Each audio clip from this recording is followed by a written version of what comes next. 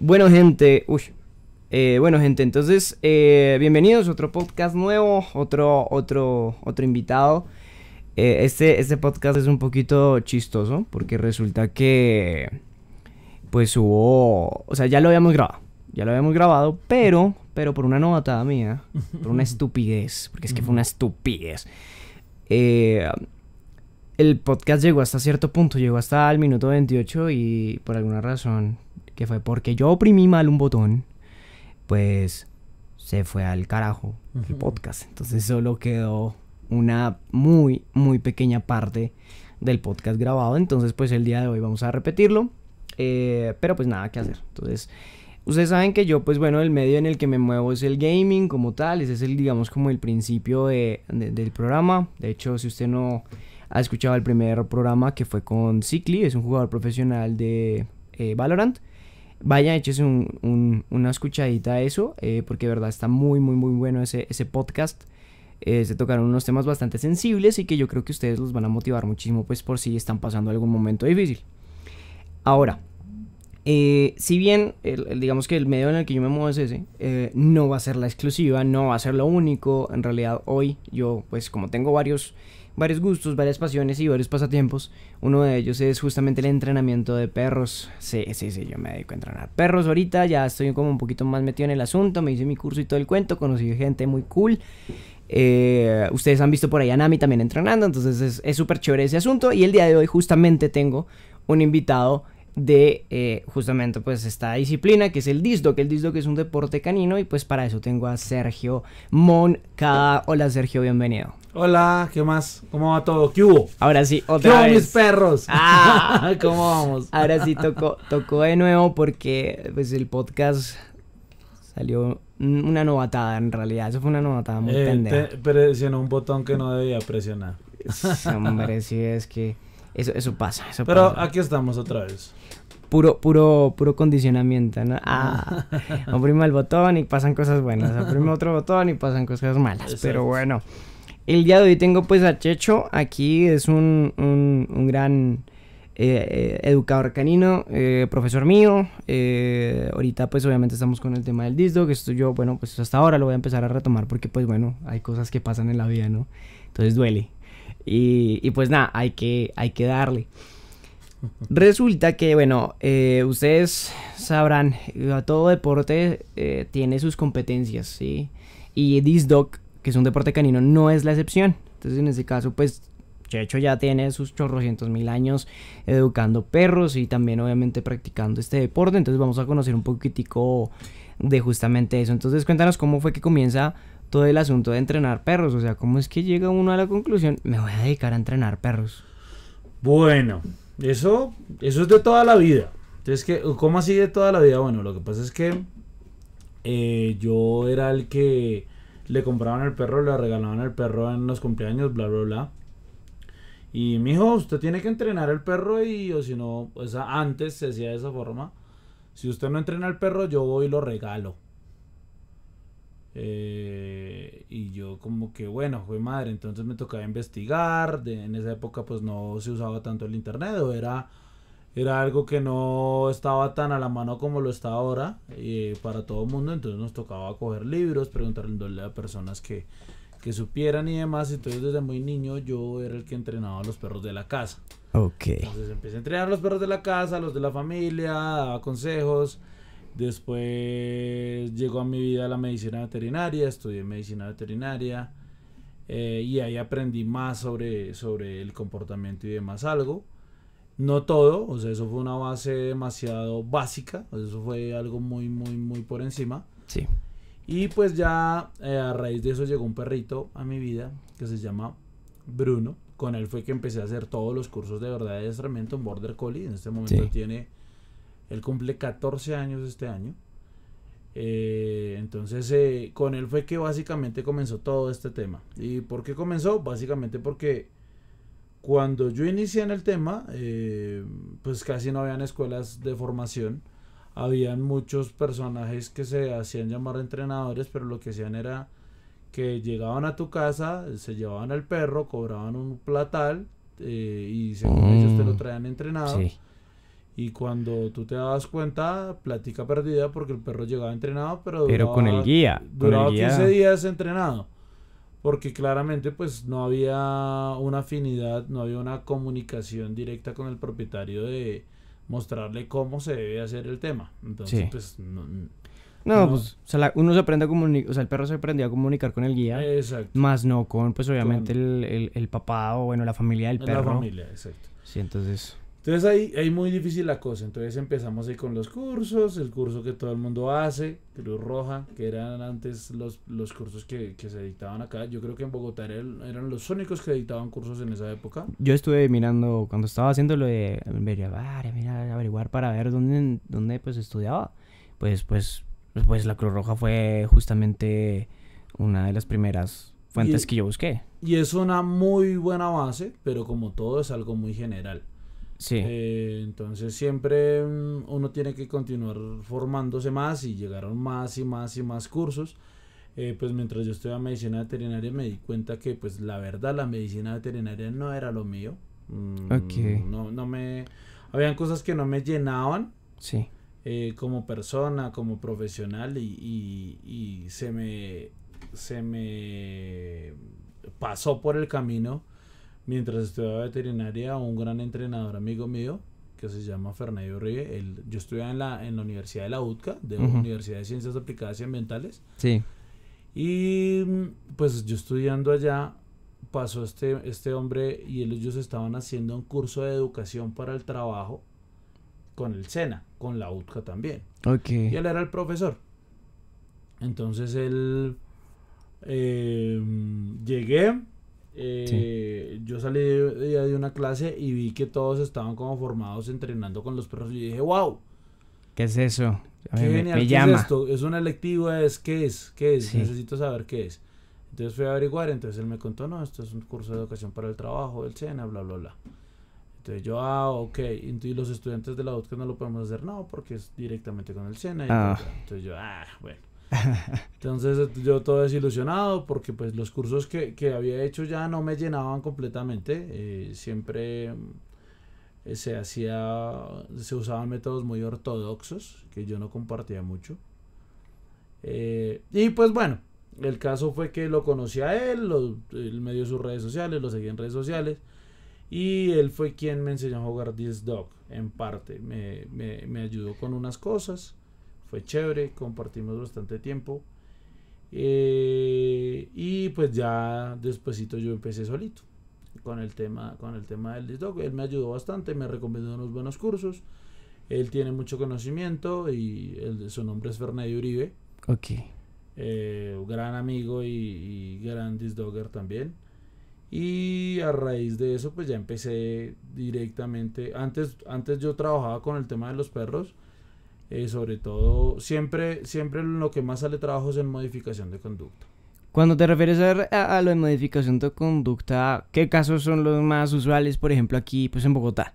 Que es pues una ciudad en donde pues los perritos están una gran parte, o sea, o sea yo voy a hablar por lo que yo he visto, es donde los perritos de casa lo único que hacen es sacarlos, hacer sus necesidades y muy rara vez, muy rara vez lo sacan a, a, a de pronto hacer un poquito de ejercicio, pero pues el ejercicio uno los ve ya sabiendo uno dice, ¿estos qué están haciendo? Porque a la larga lo único que hacen es como alimentarle la capacidad del perro de tener más energía. Porque eso también funciona así, ¿no? O sea, los perros son como deportistas de alto rendimiento. Entre más hagan ejercicio, pues más van a tener capacidad para ejecutarlo. ¿Eso qué quiere decir? Que pues a la larga tú entrenas ahorita al perro físicamente 20 minutos y el día de mañana necesitas 22, 26, 28, 40 minutos para cansarlo. Y así sucesivamente, se va volviendo una curva de crecimiento exponencial pues a su resistencia. Pero ¿cuál es el caso como más particular, como lo más frecuente que uno ve, por ejemplo, acá en Bogotá? Lo más frecuente, agresividad, miedo, ladrido excesivo. O eh, sobreestimulación del instinto predatorio. El instinto predatorio es el instinto que hace que el perro persiga... Las palomas. Palomas, bicicletas, carros, sombras. eh, Eso, eso es lo que más, más, más se presenta. Lo que más, más, más se presenta. Pero lo que, lo que más es frecuente es la agresividad. La agresividad. O sea, bueno, pues uno de los perros que había en la familia Moncho. Hoy en día se llama Merlin porque pues lo, lo, no, no, no, o sea, se dieron cuenta que no podían con, con Moncho, entonces pues la entregan a, a otra familia. Eh, sí, me parece que es un tema... Hasta Nami, hasta Nami en, principio también era como... Claro que el, el- el de ella era diferente, ¿no? O sea, era como con los perros, no era Lo que pasa solo con las personas. Es que eh, el problema de agresividad no es solo uno, o sea, hay un montón. Ok, o sea, es un campo grandísimo. Exacto. Hay, O sea, pro- no- hay- no es hay- general. hay agresividad por protección de recursos. Entonces, digamos, eh, eh, la agresividad por protección de recursos es que el perro protege un recurso en general. O puede que proteja muchos. Entonces, puede que proteja. Y, y, y se variabiliza también dependiendo de eso. Sí, Puede que proteja cosas relacionadas con la comida, puede que proteja cosas relacionadas con el entorno, puede que proteja cosas relacionadas con el juego, puede- o sea, es... hasta las mismas personas a la larga, sus padres, sus exactamente. familiares. Entonces, entonces eh, hay muchísimos tipos de agresividad, agresividad por miedo, eh, mm, agresividad predatoria, que me parece que es el peor de todos los casos, la agresividad predatoria. eh, que es básicamente Es muy un instintivo, perro- ¿no? Un perro que va a perseguir como si fuera a cazar y tenga. a lo ¿sí? que caiga. A lo que caiga. Entonces, ese me parece el más, el más peligroso, pero hay, hay muchísimos tipos de agresividad. Incluso hay unos que yo he visto que no están documentados, que digo como que, wow, esta vaina es otra cosa. Sí, o sea, siempre, siempre van a surgir nuevas, nuevas vertientes, pero lo que más se ve, más se ve son, eh, y lo que ma- los casos que más llegan, son problemas de conducta. Eh, ah, bueno, también es muy frecuente los perros con hiperapego, ansiedad por separación, Mm. eh, ansiedad en general. eh, perros que, Aria. que- que- que- Aria. que están- parece que estuvieran tomando Red Bull todo el tiempo.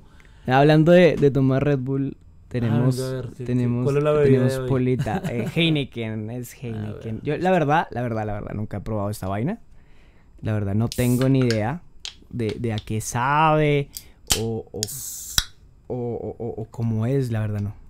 De hecho, yo probé fue hace tiempo una, la que, bueno, decían que era la cerveza de las mujeres, ¿no? La Red. La Reds. Que, Pues me pareció. ¿Es rica? Es rica, sí, Es es rica. dulcecita, agradable. Chévere. Pero bueno, listo. Entonces, eh, agresividad en, en general. Sí, o sea, como esa, esa reactividad de los perritos que cualquier cosa ven y ¡ta! a eso le quieren dar. Ya sea por una protección o algo. Y de los casos que, pues bueno, a ver, lo que pasa es que yo diría que el modelo que nosotros seguimos de, de- enseñanza y de educación a un perro representa un 90% el familiar y un 10% el perro, porque es que el perro hace las cosas siempre y cuando uno las haga bien. Y ahí ya tomando un tema, por ejemplo, eh, desde lo que yo he vivido, eh, o bueno, sí, con Aria, por ejemplo. Aria es un husky que tiene un problema de base que es ansiosa, que además en principio yo venía con, bueno, yo antes tuve una, un, labrador, pero era un perro militar. O sea, de verdad parece un perro militar. Eh, lo entrenaron carabineros, pero igual el perro tenía el vínculo con nosotros. Entonces eso fue un proceso bien chévere. A Mona nunca se iba por allá. O sea, ahora Mona era al FUS, sin correa, nada. O sea, nosotros nunca tuvimos la necesidad de regañar a ese perro. De verdad me parece un perro súper impresionante. Y yo dije, quiero otra Mona. ¿sí? Quiero llevar un, un perrito a ese nivel. Tuvimos a, a- a Aria, un, un perro que pues en- en su, su raza es, bueno, es complicada, se puede decir que es, es un perro que, que tiene muchas vainas. ¿sí? Mejor dicho, te dejaste caer por sus encantos. Sí, Uy, no, pero es que, miren, la verdad, la verdad, Aria es divina. O sea, la verdad, es un lobo muy, muy bonito, a diferencia de muchos, y qué pena los que tengan lobo, pero Aria es un lobo más lindo de todos. O sea, de verdad, Aria es muy bonito, muy bonita. Y resulta que, bueno, era toda mal mirada cuando chiquita. O sea, tiene una cara de tote. Para los que no sepan que es un tote, es como un revólver, por decirlo así. Sí, entonces, Cara de bravo. Ca- cara de brava todo el tiempo. Eh, aquí iríamos en Colombia de come mierda. Entonces, eh, resulta que eh, Aria tenía pues ese problema. Y pues llega a, a mí, llega a la familia y decimos como, bueno, pues ¿qué hacemos? Pues tomemos un curso. Y justamente aparece uno de estos personajes. Eh, no voy a dar nombres ni nada, por supuesto que no. Pero llega uno de estos personajes a decir, no, pues yo averigüé y el man de verdad tiene su, tiene su recorrido, el man lleva muchísimo tiempo enseñando perros y tiene muchos casos y chévere. O sea, yo dije, pues le creo. Porque ese era el, el tema de educación al que yo Estaba acostumbrado. ah, estaba acostumbrado con un perro, con, con, con Mona, por ejemplo. Mona utilizaba era collar de ahogo. Claro que nunca le poníamos el, la correa porque pues ella siempre andaba al fus. Nunca hubo necesidad de correa. El fus es andar al lado, ¿sí? Al lado izquierdo, particularmente. Porque pues el lado derecho el, el guía lleva el arma, entonces es, es más que todo por es eso. algo más militar que Exacto. otra cosa. Es más, es más un Funcional, tema de operativo. rango. Sí. Es más un tema de rango y eso se da, si no estoy mal, por los romanos. Entonces, Ah, por lo pues. general, una alguien que tenía menor rango que tú siempre tenía que ir en las formaciones a tu izquierda. Entonces, Ah, por no, eso. mire, ah, bueno, no, no solo, no solo en, en- en Roma, en Japón, cuando, en las artes marciales, eh, por ejemplo, en, en karate, en mi caso, el más antiguo va a la derecha. Y de ahí para allá, los de menor rango van a la izquierda. Ah, vea qué curioso. Eh. Ay, es- eso Eh, está es algo curioso. más por rango. De hecho, hace poco salió una ley en Estados Unidos, Sí. no recuerdo el nombre de ella, pero as- cambia totalmente ese aspecto. ¿Por qué? Porque antes se vio que los muchas veces hay personas que definitivamente no gustan de los perros. Y muchos soldados maltrataban a los perros o les hacían cosas injustas a los perros y cambiaron ese tema y eso pasaba precisamente porque el perro tenía un menor rango. Ahora siempre el perro tiene más rango que el soldado. O sea, el perro es un superior para el soldado y tú no puedes Ah. tratar mal a tu superior. Para que precisamente eso no pasara, me pareció genial. Ah, chévere. O sea, bueno, ahí uno va aprendiendo. O sea, por ejemplo, eso uno no tenía ni idea, vea, pues.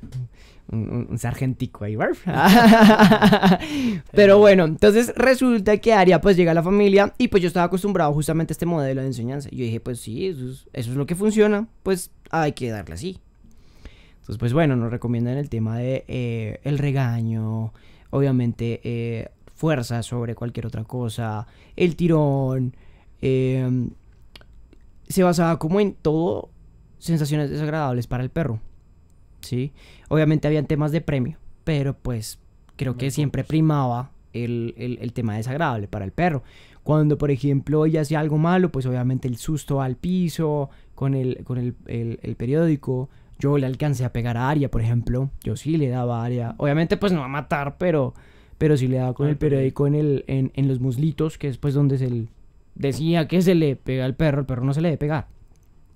Entonces yo, pues bueno, ok, eso es lo que funciona, pues entonces eso es lo que yo creo que pues Ojo- hay que seguir. Ojo, ojo con una cosa, ¿no? Porque él se refiere directamente a perros de familia, a perros de compañía. No, es que hay otros temas muy particulares, Porque- operativos. Porque digamos, al perro, a- hay perros que son perros operativos, incluso están tan motivados que el golpe es un reforzador. Es un reforzador y es un reforzador positivo para ellos. Es como Por eso nosotros con- en, en artes por eso no marciales. sueltan, es por como, eso no venga, sueltan". pégame y va, venga, deme más duro, ¿sí? Eso pasa con justamente este tipo de perros. Eso es el, el Rick francés, creo que se llama. Hay eso. muchos. Hay, varios deportes así, Pero el riff francés ah, lo hacen bastante. con una fusta y toda la vaina. Exacto. Entonces, pero entonces resulta que, bueno, yo entrené con él, con el señor, terminó el, te- el tema. Pues el tipo dice, pues yo ya terminé. Y uno dice, pues sí, o sea, el- el- eso fue duró tres meses, creo que el curso dura tres meses, como tres veces a la semana, cuatro veces a la semana. Mm. Eh, y pues el, el- cuando uno termina, es básicamente un listado de comandos. Y pues si se cumplen esos comandos, pues el perro ya terminó el curso. Lo único que nunca hizo área fue andar al lado. Pero ahorita hablamos de eso, que es una cosa que llama función zootécnica. Que, ah, yo también he aprendido. O sea, ah, sí, acá el profe me enseña bien. Pero, entonces, bueno. Y yo dije, bueno, ¿qué pasa con ella? Pero pues es que es un perro difícil, ¿sí? Entonces, cuando yo decido buscarlo de, no, yo quiero hacer un entrenador de perro ahora. Porque de hecho mi pareja era la que quería ser entrenadora. Eh, entonces ella... No hablemos de eso. No hablemos de eso. Nah, no pasa nada. Pero, pero, eh, después dije, pues, no, pues yo, yo sí, yo también, yo le hago, yo me comprometo. Entonces, llegó justamente, el primero que, que miré fue justamente el de la, el, el de la, la Cruz Roja. Eh, me convencía un poquito el pensum, por así, por así decirlo. Y yo dije, pues, averiguar. Los precios no estaban ni tan baratos, pero tampoco estaban tan caros. O sea, yo decía que estaba justificado. Sí, o sea, estaba justificado. Pero después apareció el tema de la escuela canina colombiana, que es donde yo pues hice De el curso y me gradué, de donde eh, Luis Cárdenas, muy recomendado. O sea, para mí me parece que es un buen educador canino para perros para de hogar. Un saludo para, Hola, Luchito. para Luchito, para, para la escuela canina colombiana. Eh, y resulta que bueno, yo pues hice el curso ahí y me cambió la vida. O sea, me cambió la vida. Eh, de verdad, siento que fue un giro 180 grados. La dirección que yo estaba mirando para mí quedó mal. O sea, yo dije, esto está mal. O sea, de verdad está malísimo. O sea, lo que yo hice con Ari estaba mal. Muy mal. Entonces, y, Y eso, yo- desafortunadamente, aquí en sociedad, y bueno, puede que sea solo en Colombia o todo el mundo, toda Latinoamérica, lo que sea, el golpe en los perros es normal. Castigarlos de esa forma está normal. No es normal, no, es- no está bien, mejor dicho. Digamos que eso es como lo- la cultura general de- de- de- del adiestramiento canino. Entonces, aprendí todo este tema y eh, justamente lo que estábamos diciendo. Depende 90% el, el- el- el- familiar del perro y 10% el perro. Porque cuando el perro tiene todas las condiciones para trabajar, el perro te trabaja de una forma increíble. Y las conductas del perro se cambian absolutamente. Por solo un hábito que tú cambies, el perro cambia total. Y eso fue lo que empezamos a hacer con Aria. Empezamos a cambiar hábitos, empezamos a ser un poco más responsables con horarios, respetarle horarios a ella. Eso era muy importante. Les voy a contar la historia de cómo este señor me empezó a acosar. Eso suena muy mal. Eso suena terrible. Eh, bueno, lo que pasa es que yo soy profesor de escuela canina colombiana de la parte deportiva y sobre todo de perros de disc dog. Que esa es mi parte favorita. O sea, yo, a mí- yo, por ejemplo, bueno, ahí hacen una, inter- una intervención. Hay como ramas en las que uno puede especializarse cuando pues termina de hacer su curso. En mi caso, a mí me gustan dos ramas, que es la deportiva con Disc Dog y la de crianza. De verdad, me parece increíble. O sea, desde la crianza, un perro puede ser un perro ejemplar en cualquier lado. De verdad. Y ahorita Checho les cuenta eso. Eso va a estar chévere. Bueno, entonces, ¿qué pasaba? Eh, ¿Eso fue que hace dos años ya? No, eso fue despuésito de la, de Eh, la cuarentena. Sí, no, no, no, no, no. Fue eso, fue No, iniciando. Recién acabó. el Ajá, sí, recién inició, terminó cuarentena. Exacto. Ahí fue como, venga. fue. Entonces, bueno, ¿qué pasó? Yo, lo primero que hacía yo era hacer una exhibición, pero pues a mí, a mí nunca me ha gustado el tema de solo ir a hacer la exhibición de Disc Dog, sino yo les mostraba todo el trabajo de cerebro que tiene mi perro, toda la comunicación que Ujú. tiene el perro, o sea, todo como él me interpreta y como yo lo interpreto a él y como literal que creamos un lenguaje entre los dos para entendernos. Sí. O bueno, yo creé un lenguaje con él para que él me entendiera. Y, y cuando empezamos a trabajar, todo es básicamente en base a la, a la diversión, el, el disc dog. Pero pues este hombre quedó matado fue porque yo, a pesar de que el perro, eh, pues no, no, yo no soy de los que digo que mi perro es perfecto y mi perro hace todo bien, no, no lo es, tiene, hay muchas cosas por trabajar y yo tampoco lo soy y tengo muchas cosas por aprender. Pero pues ellos quedaron y la mayoría de estos chicos quedan impresionados es por el nivel de comunicación que tenemos. Brutal. Eh, entonces él me escribió como al mes de que yo le dicté su clase, me escribió como que, profe, yo quiero aprender el tema de la comunicación. Sí, ese fue el, Entonces, ese fue como el, el, el- la el pilar, entrada. el pilar. Ajá. Eh, entonces, yo, entonces yo, bueno, listo, vamos a entrar con eso. Conocimos a Aria. Eh, yo digo, "Hijo de pucha. Eh, y, y con Aria, básicamente lo que tenían era un cortocircuito en la comunicación. Sí, total. O sea, la perra totalmente desmotivada a trabajar con ellos, la perra totalmente desmotivada a jugar la- eh, con ellos Escapista, además. escapista, desmotivada de la presencia de ellos, entonces empezamos a cambiar muchas cosas de cómo se estaba dando el manejo de recursos y la perra cambió del cielo a la tierra. No, brutal. O sea, de verdad, miren. Aria, para comenzar, eh, para los que tienen perro, saben lo difícil que es tener un perro escapista. ¿Mm? Si usted tiene un perro escapista en casa, usted sabe lo mucho que usted ha sufrido para volver a recuperar ese perro una vez que el perro salga a correr. ¿Sí? Y eso no es de un solo día. Eso es de meses, incluso personas con años que uno dice, no, ya no suelto el perro porque el perro deja de escapar. Y yo para qué voy a ponerme a correr detrás del perro. Y solo con eso. Yo con eso fue como, wow. O sea, wow, el cambio de área. eh, el tema también del cariño, la perra se comunicaba más. Eh, sí, los perros se comunican. Y uno cuando genera un vínculo, uno aprende a interpretar todos los gestos que hace el perro. Así como usted allá se comunica con, con sus amigos, que usted le dice al amigo, le alza la ceja, y el amigo dice, ah, marica, me está tratando de decir tal cosa. Nami, yo le frunzo el ceño y ella ya sabe. ella es como, uy, la embarré. Ah, pero es que yo también saldría corriendo. es, es segundo dan en karate. Pero sí, frunce ¿eh? el ceño y corran. Entonces, todo el tema de la comunicación con Aria, obviamente, cambió un montón. Y eso se vio reflejado justamente en los hábitos de Aria y en su comportamiento. Su comportamiento en casa, su comportamiento afuera, su comportamiento con otros perros. Todo cambió. Entonces, claro, yo dije, no, ya.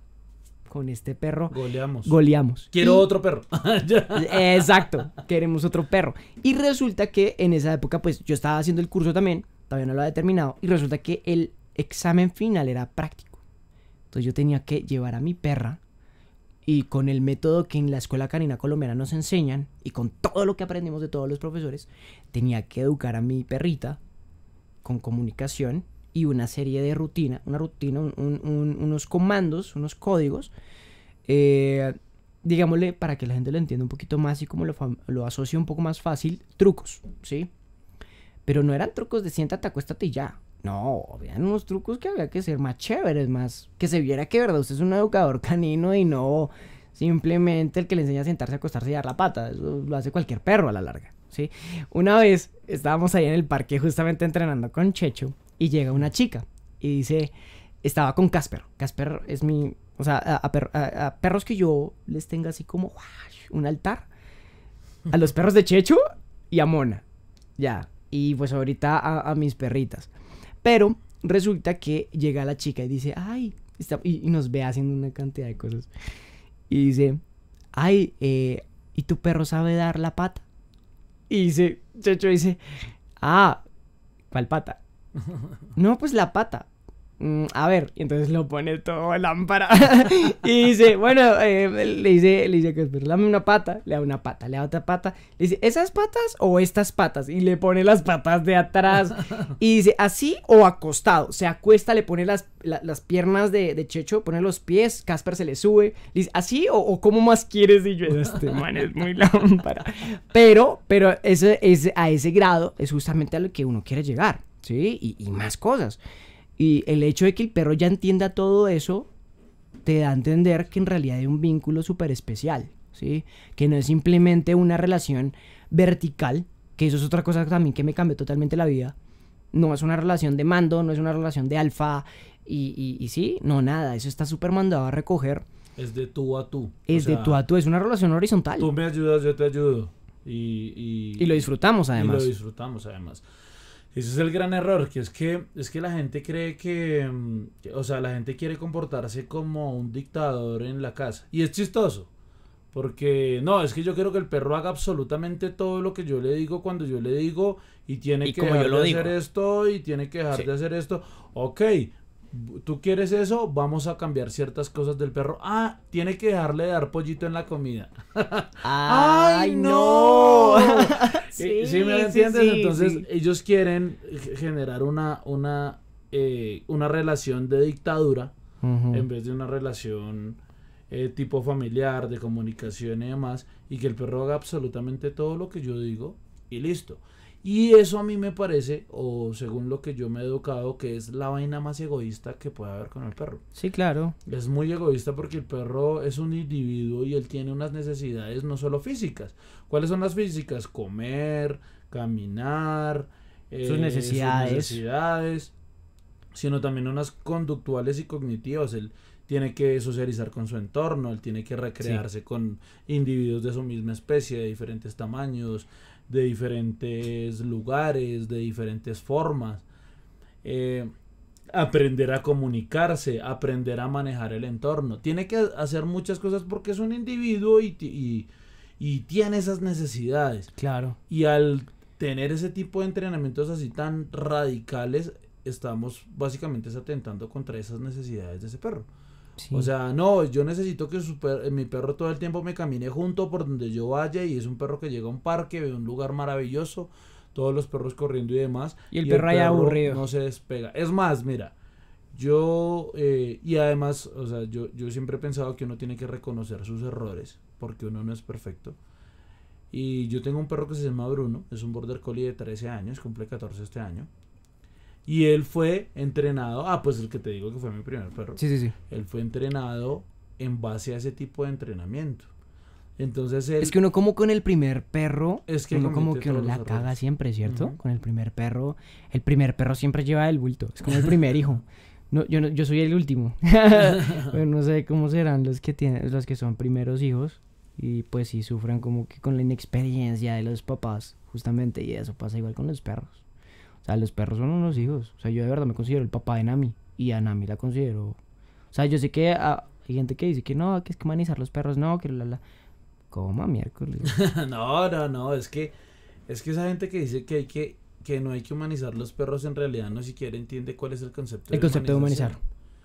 y es antropomorfismo. Entonces, ¿qué, qué, ¿a qué nos referimos con antropomorfizar un perro? A ponerle zapatos, Ah, eso sí no me gusta. a, ponerle ropa, a, a darle condiciones humanas. ¿Cómo así condiciones humanas? Que los perros pueden hablar, que, por ejemplo, y eso se da sobre todo es por las películas y por los programas de televisión para niños. sí, sí. El solo hecho de que salga un dibujo de un perrito hablando y, Y con, teniendo y, y aventuras. con obviamente ropita, y que el sombrero, con el sombrerito, pues Exacto, uno quiere ver igual al perro. Antropomorfización, ¿sí? De Mm. los animales. Pero entonces, eh, en realidad, yo no he visto a la primera persona que vea así a un perro. O sea, de hecho es muy raro, es muy, muy raro ver una persona que lo vea así. Yo lo que veo es, yo, yo cuando llego a, a- a las casas, veo es reyesuelos. Mm. O sea, yo no veo perros humanizados, veo es perros endiosados. Tú puedes hacer todo lo que se te dé la gana, tú puedes hacer Sin absolutamente consecuencias. todo sin consecuencias. Tú puedes acceder a todos los recursos que quieras. Cuando quieras, cuando además. quieras. Entonces son perros, para la muestra, Aria era un perro Ah. de ese estilo. Sí, total. Aria, quiero cariño, y ellos dos, De una. claro, mi amor. Eh, quiero comida, Eh, claro que sí. Eh, quiero salir. Eh, entonces- Mira, Aria, Aria cuando quería salir lo que hacía era ir al, al balcón. Porque en ese, tiempo, en ese tiempo, pues obviamente sacar a los perros estaba... Primero hubo, hubo una restricción. Entonces obviamente toda la gente tratando de acostumbrar a los perros a hacer adentro. Sí. Y después ya pues permitían salir con los perros justamente. Pero en ese principio pues obviamente Aria cada vez que quería estar en el balcón, raspe, aunque no tuviera necesidad. Entonces nosotros qué hacíamos? Ay, correr porque la niña quiere salir al balcón todo el tiempo. Ya cuando pues obviamente yo, yo ya aprendo un poco más del, del asunto de, de adiestramiento, pues obviamente yo ya me empecé a rayar. O sea, psicológicamente no rayar como que te, te pones mal. y- Deschavetar. de chavetas no, sino eh, habían conductas que ya me molestaban que tuvieran con Aria. ¿sí? De hecho, hubo un tiempo ya cuando como que empezaron a hacer un poco más lapsos con la con la tema de la cuarentena y como que ya la, la gente permitía que pues se hicieran reuniones con una tanta gente. Entonces, claro, llegaban esas visitas y uno tratando de sacar a Aria adelante con un proceso que obviamente existen unos unos ¿cómo decirlo? Como unas terapias, porque son como terapias para el perro, en donde se depriva de ciertas cosas, o sea, se le prohíben ciertas cosas al perro. No se prohíben, se deprivan. O sea, se, se disminuye Se disminuye el, el acceso, el a, acceso eso. a eso. Entonces, por ejemplo, en, en Aria era el cariño. Entonces, Aria no recibía cariño a menos que yo quisiera darle cariño y a menos que ella hiciera algo para ganárselo. Entonces, en ese caso, ella tiene que sentarse, acostarse, levantarse, deme la pata y ahí sí le doy cariño. O, algo que le pidiéramos nosotros o que fuera funcional hacia nosotros, ¿no? También. Porque también hacer algo para pedir cariño es morder al dueño o empezar Eh, a gritar. Y eso no es algo para recibir. cariño. No, exacto. Porque ahí es- está pasando lo que los niños malcriados hacen, ¿no? Entonces ellos se acuestan, tiran a pataleta, entonces el papá le termina comprando el juguete que el niño quería. Exactamente. Entonces, Entonces- el niño que prende, hago pataleta y me compra. y me lo compran lo que yo quiera. Exacto. Pero no, entonces Aria tenía ese, estaba en ese proceso. Y pues llegaba la gente y, ay, mi Aria, bla, bla, bla. Y, y ay, la consentían y yo, esto sí el proceso es que no entienden, o sea, era frustrante. O sea, verdad, se vuelve frustrante porque el trabajo que había tenido Aria antes y de repente llegaba gente que no tiene ni idea. Y uno, tras del hecho, le decía a la persona, le decía, ven, cuando pase esto, no lo permitas porque es que está dañando el proceso de área. Pero es que no pasa nada. Ah, listo, no pasa nada. A modo, a, a grosso modo, eh, mi pareja del momento le tenía miedo a Aria. Sí, llegó un punto en el que Llegó un le tenía punto miedo. en el que le tenía miedo. Porque la corrección de Aria era de privarla de libertad, que era llevarla a una zona de control. Y no era una, o sea, la llevada no era, no era, venga mamita, la llevo. No, había que obviamente llevarla fuertecito, porque pues Aria es un perro grande. Hay que ejercer fuerza sobre ella. Porque el perro ya sabe que a ella no le gusta ir. Sí. Entonces, zona de control, y se queda ahí hasta que se calme. Cuando se calme, voy y la libero. Listo, sale. Entonces, fue como, bueno. Y en un tiro de esos, Aria, pues obviamente le peló los dientes. ¿Y ella qué hizo? Mm, mm, con Aria no me meto. Aria, eh, por ejemplo, un tema que sí desde el principio lo decíamos, era que ella cuando comía, se le consentía y obviamente pues desde pequeña, pues para que no generara esa protección, esa agresividad por protección de recursos Sí. en el caso de la comida. Llegó un momento en el que a ella le gruñía. Yo no, o sea, yo le metía las manos en la comida y le daba comida de, la, de mi mano, la consentía, todo el cuento y no pasaba nada. Pero a ella le gruñía y ya dijo, no. no Estaba pasa nada". detectando ciertos niveles de toxicidad. no, mentira.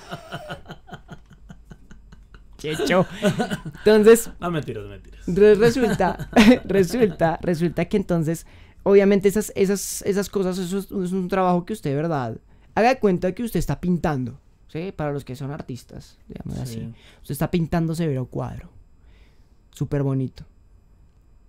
Eh, y llega alguien y le pasa la mano, porque dice, ay, está como bonito el cuadro. ¿Usted cómo se siente? Así es las conductas de un perro. Usted está trabajando sobre un lienzo y está tratando de marcar ciertas pautas, está tratando de marcar ciertos parámetros y ciertas conductas adecuadas para el perro para que sea un perro ejemplar para la sociedad, que es una cosa que a la gente no le importa. La gente dice, no, yo quiero un perro para consentirlo y así. Como, pues, ajá. ¿Sí? Quería área solo para mimarla y ya, pero responsabilidad es cero. Cero.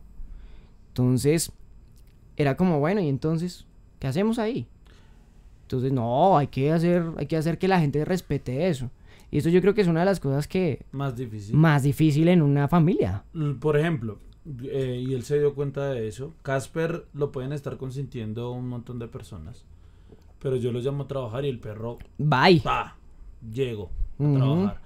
¿Qué es lo que ocurre? La idea es que mientras está el proceso, mientras se genera ese proceso o mientras se llega a ese nivel, pues uno intenta tener la menor cantidad de interrupciones posible. Sí, Porque cada interrupción va a hacer que el proceso retroceda. Y más en un perro de rehabilitación como lo era Aria. Pero entonces, la idea es siempre llegar al punto en el que a ti no te importa que alguien esté consintiendo a tu perro. Porque tú ya sabes que mal o bien, él va a trabajar y va a comportarse bien independientemente de lo que ocurra. Pero exacto, o sea, ese, ese es el proceso. Cuando uno ya sabe que el perro ya está completamente educado, rehabilitado en el caso de Aria, pues uno ya sabe que pues el perro, independientemente a que todo el mundo lo acaricié, el perro va a venir a trabajar conmigo porque es que quiere trabajar conmigo. Pero pues como era un proceso tan reciente, pues obviamente todo era como, ah, caída, caída, recaída. Entonces, un drogadicto tratando de salir de la... De, de, de, de las drogas y llegan y le ofrecen un poquito en el, en el Mm. proceso. No, baila, se pierde el proceso de avance. Entonces, avance se había perdido. Entonces, por ejemplo, todo este tema de las conductas, eh, hay, hay una, una cuestión, una, una pregunta como muy, muy, muy recurrente. Y es, es que tengo un apartamento pequeño, ¿sí? No puedo tener perros grandes, voy a conseguirme un pincher eh, y voy a tener solo uno. Pero yo quisiera tener cuatro border collies, como Checho. Entonces, ¿qué tan, ¿qué tan cierto es eso? Del Bueno. espacio, por ejemplo. El espacio sí es importante. Eso es importante. Pero es importante por cómo lo usas. Ok, cuéntanos cómo es eso. Sí, o sea, digamos, eh, el, digamos que yo vivo en un apartamento, Sí. no sé, de 50 metros cuadrados, ¿sí? y tengo cuatro perros. Por lo general, ¿qué hace un perro en una finca? Un perro que se porta bien en una Ah, finca. ok. Pues depende, ¿no? Depende de- del, del perfil del perro. Pero pues Pero un puede perro estar... de compañía que se porte bien en una finca. Yo diría que un perro que se porte bien estaría por ahí quietecito, echadito, juicioso. O sea, para mí eso es portarse bien. Sí. ¿sí? Que si el perro es saludable o no, que si sea activo o no, pues eso ya son otra cosa. Porque si es activo, pues yo diría, no, pues estaría corriendo por allá y corre un ratico. portándose mal. Exacto. Estaría portándose mal para mí. Porque, ¿Por qué razón correría el perro como un loco en la finca? De pronto, el primer día que lo ven ver todo ese espacio y él puede correr y demás, sí se porta como un loco. El segundo día bien, el tercer día Ya es normal. y el cuarto día como que, ajá, ¿y qué? Aquí qué hay para hacer, suele para correr solo como un loco. Es como la gente que vive en la costa. La gente vive en la costa y dice, no, pues la costa es la costa y chévere. Uno que vive aquí en Bogotá, uno dice, uy, la costa, guay", Y se enloquece en la costa. Pero la gente ya es como, ah, normal. Exacto. Ir a la playa, no, ayer fui, todo bien. Exacto. Entonces, todo, todo depende de eso. Entonces, digamos, tú tienes, yo tengo un apartamento, yo, est- yo vivo en un apartamento de 70 metros cuadrados, tengo cuatro perros, tengo dos hijos, una esposa. Y, mm, y, y vivimos bien, o sea, no, no, no, no, no tenemos problemas con eso. Los perros no se portan mal, pero porque hacemos un buen uso del espacio. Ok. Digamos, primero, en los perros en el, en el apartamento tienen su espacio personal. O sea, ellos tienen un espacio en donde ellos pueden estar tranquilos, calmados y sin ningún conflicto. Segundo, eh, en realidad el uso del espacio que hacemos es de espacio público. Nosotros vamos a pasear, vamos a entrenar en espacios abiertos y grandes en donde los perros pueden expresar su comportamiento natural como debe ser. Sí. ¿sí? Eh, tú no puedes pretender que dentro de tu casa tu perro exprese su comportamiento natural porque si no necesitarías una mansión enorme. ¿Sí? Eh, que no tuviera eh, piso sino pasto, por ejemplo. Que puede, el perro puede ir a olfatear, que el perro... Entonces, el tema del espacio es algo muy relativo, ¿sí? Ok. Es importante, pero es dependiendo más bien de cómo lo usa. Lo que en realidad importa, lo que en realidad importa es el tiempo que le dedicas al perro. No mucho tiempo, sino el tiempo de calidad. De que le calidad, dedicas, claro. ¿sí? Eh, tú no requieres un montón de tiempo para dedicarle a tu perro, sino más bien un tiempo en el que de verdad se aproveche y se disfrute. Eh, hay personas que se van de camping con el perro, hay personas que se los llevan a escalar, eh, hay muchísimas cosas para hacer con el perro y no, necesitarem- no necesariamente necesitas un montón de espacio en tu casa para poderlo hacer. Sí. ¿sí? En mi caso yo entreno a disc dog, ¿sí?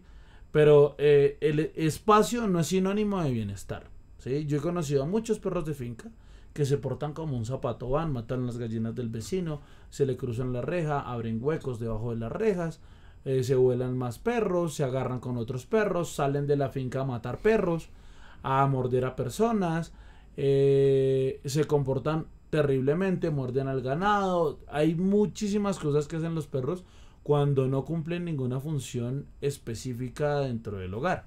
Sí. ¿sí? Un, un perro es que los perros a la larga, a la larga son, o sea, son animales de trabajo. Sí, Y los perros si no se sienten como que están trabajando, pues se sienten mal, se sienten frustrados, se sienten inútiles. Y pues obviamente ese, ese, ese sentimiento lo tratan de expresar con conductas que nosotros vemos negativas. Voy, o sea, por ejemplo, Aria. Vamos a poner el ejemplo de Aria. Aria es un perro que su, su función zootécnica, la función zootécnica es, para lo que... Exacto, es para lo que los perros y su raza fueron creados, ¿sí? El- para lo que trabajan. Pues un lobo siberiano es para alar trineos. Entonces por eso usted ve los huskies todo el tiempo, alando, alando, alando. O sea, es muy raro que usted no vea un husky que esté al- alando. Hay casos, claro que sí, seguramente hay alguno de los que nos está escuchando y dicen, no, pero es que, es que mi husky no jala. Pues bueno, chévere. junto, un junto perfecto. Entonces, sí, entonces ahí ya tiene, tiene, tiene su junto y chévere, bacano, tiene pero... su perro ideal, no lo dejes ir. Sí, o sea, todo bien, todo bien, hay casos. Es, no, es, no es la regla, sí, es la excepción. Que te ande al lado es la excepción. Entonces, eh, entonces dicen, "Bah, yo, yo quería que pues Aria dejara de hablar. Cuando aprendí todo esto era como, pero ¿por qué voy a dejar que, o sea, por qué voy a impedir que el perro jale si para eso fue creado? Si quiero que no jale, pues la sencilla, quítele la correa. Y ya, el- si usted tiene correa, el perro va a jalar. Pero si no tiene correa, el perro pues va a estar ahí eso, enfrente. Eso, eso también depende de muchos factores. Ah, ¿no? bueno, claro, porque es por Y ley, es por que- ley hay correa y todo el cuento. y o sea, hay por seguridad. Y por seguridad, claro. perro no debe andar suelto. Y por yo siempre le he dicho a Michael y a todos mis alumnos, por más entrenado que esté tu perro, Siempre con correa. siempre con correa, porque Siempre. tú controlas el entorno, tú no controlas el entorno, tú controlas el perro, el Pero perro no te hace caso en todo, pero el entorno no lo, no lo controlas. Si uno nunca sabe. ¿sí? Entonces siempre lo mejor es con correa. Hay muchas formas de enseñarle a un perro cuándo es la hora de jalar y cuándo no. Entonces eso también se puede trabajar de esa forma. ¿Sí? Hay muchas herramientas también que impiden que los perros jalen. Entonces también se pueden usar esas herramientas para que eso no pase. Exacto, entonces, por ejemplo, el tema de la posición técnica es un perro que está creado para eso, perro que su naturaleza es esa, jalar, jalar. Entonces, pues es como complicado quitarle ese chip. ¿sí? Así hay perros también, obviamente en, en- en otros espacios que es morder. ¿sí? Hay otros perros que son de cacería, de perro, de, de ¿cómo se llama esto? De, eh, como de ratas y en general roedores, que son estos perros chiquitos, alargados, que son como ratoneras, por así decirlo. Entonces, pues obviamente, por ejemplo, los... eh, los es que son todos bonitos los que aparece el, el de la dama y el vagabundo. eh, un cocker. Sí, Esos cocker son para eso. Son perros de... eh, compañía. Sí, pero no, tienen una, una función técnica que es para eh, alimañas. Eso tiene un nombre. Cacería de limañas. Yo diría que son más de rastro. Eh, ajá, exacto. Entonces, por ejemplo, ese tipo de cosas uno dice, bueno, ¿por qué le va a impedir a eso? Entonces trata de redireccionar justamente ese comportamiento y esta función, pues para que pues el perro no se sienta frustrado. Y con Aria, por ejemplo, particularmente, solo el hecho de haberle puesto horarios justamente a sus rutinas hizo que el perro cambiara totalmente. Porque el perro ya sentía que estaba haciendo algo. Entonces era como, a esta hora, antes de salir, entreno. Salgo, hago mis necesidades, entreno. Vuelvo, entreno, como. O sea, eh, como eh, antes de, eh, después de haber entrenado afuera, todo el cuento. Como. Esa es mi recompensa, es mi trabajo. Si usted no trabaja, no come. Eh, en la noche lo mismo. Entreno, salimos, hago mis necesidades, entreno afuera, lo que es la rutina, porque había rutina adentro y rutina afuera. Entro, como. Listo, descanso. Entonces el perro, obviamente, ¡pah! Todo. o sea, Empezó a mejorar. todo. Y empieza a mejorar las motivaciones porque es que si yo no entreno o si yo no trabajo, no como. Así es. Tal cual, tal cual. Así es sencillo. Entonces, ¿qué es lo que Cuando ocurre? tenga hijos, cuando tenga hijos, les voy a poner a trabajar desde, el chi- desde chiquitos. Y digo, bueno, usted va a lavar la si no lava la loza, no come. ¡Ah! Maltrato. Ah, ese, es, ese es otro nivel. Pero entonces, ¿qué, ¿qué ocurre? Obviamente, trabajar no es poner al perro a voltear una hora cada vez que tiene que comer. Exactamente, no, no, no, Todo no. eso va en contra totalmente de la motivación. Entonces, si yo quiero de verdad motivar a un perro, siempre tengo que dejarlo iniciado, siempre quiero, tengo que dejarlo queriendo más. Vamos a trabajar esto dos, máximo cinco minutos. Y si trabajas bien, comes. Y el perro, pues obviamente trabajaba y comía. Y cada vez íbamos mejorando así la motivación. Entonces eh, ahí, se van, ahí se van cambiando muchísimas cosas. Siempre hay que tener en cuenta algo y es que una motivación parte de una necesidad. O sea, si para que yo tenga una motivación tengo que tener una necesidad. ¿sí? Hay gente que dice, no, mira, yo tengo esta motivación y no... No, tienes que tener una necesidad. Siempre una motivación te va a hacer tener una necesidad. Como yo. Como tú, por ejemplo. Yo tenía una necesidad, la moto. Uno dice, ah, yo quiero cambiar de moto, quiero una moto. Mucha gente quiere moto y se queda queriendo una moto.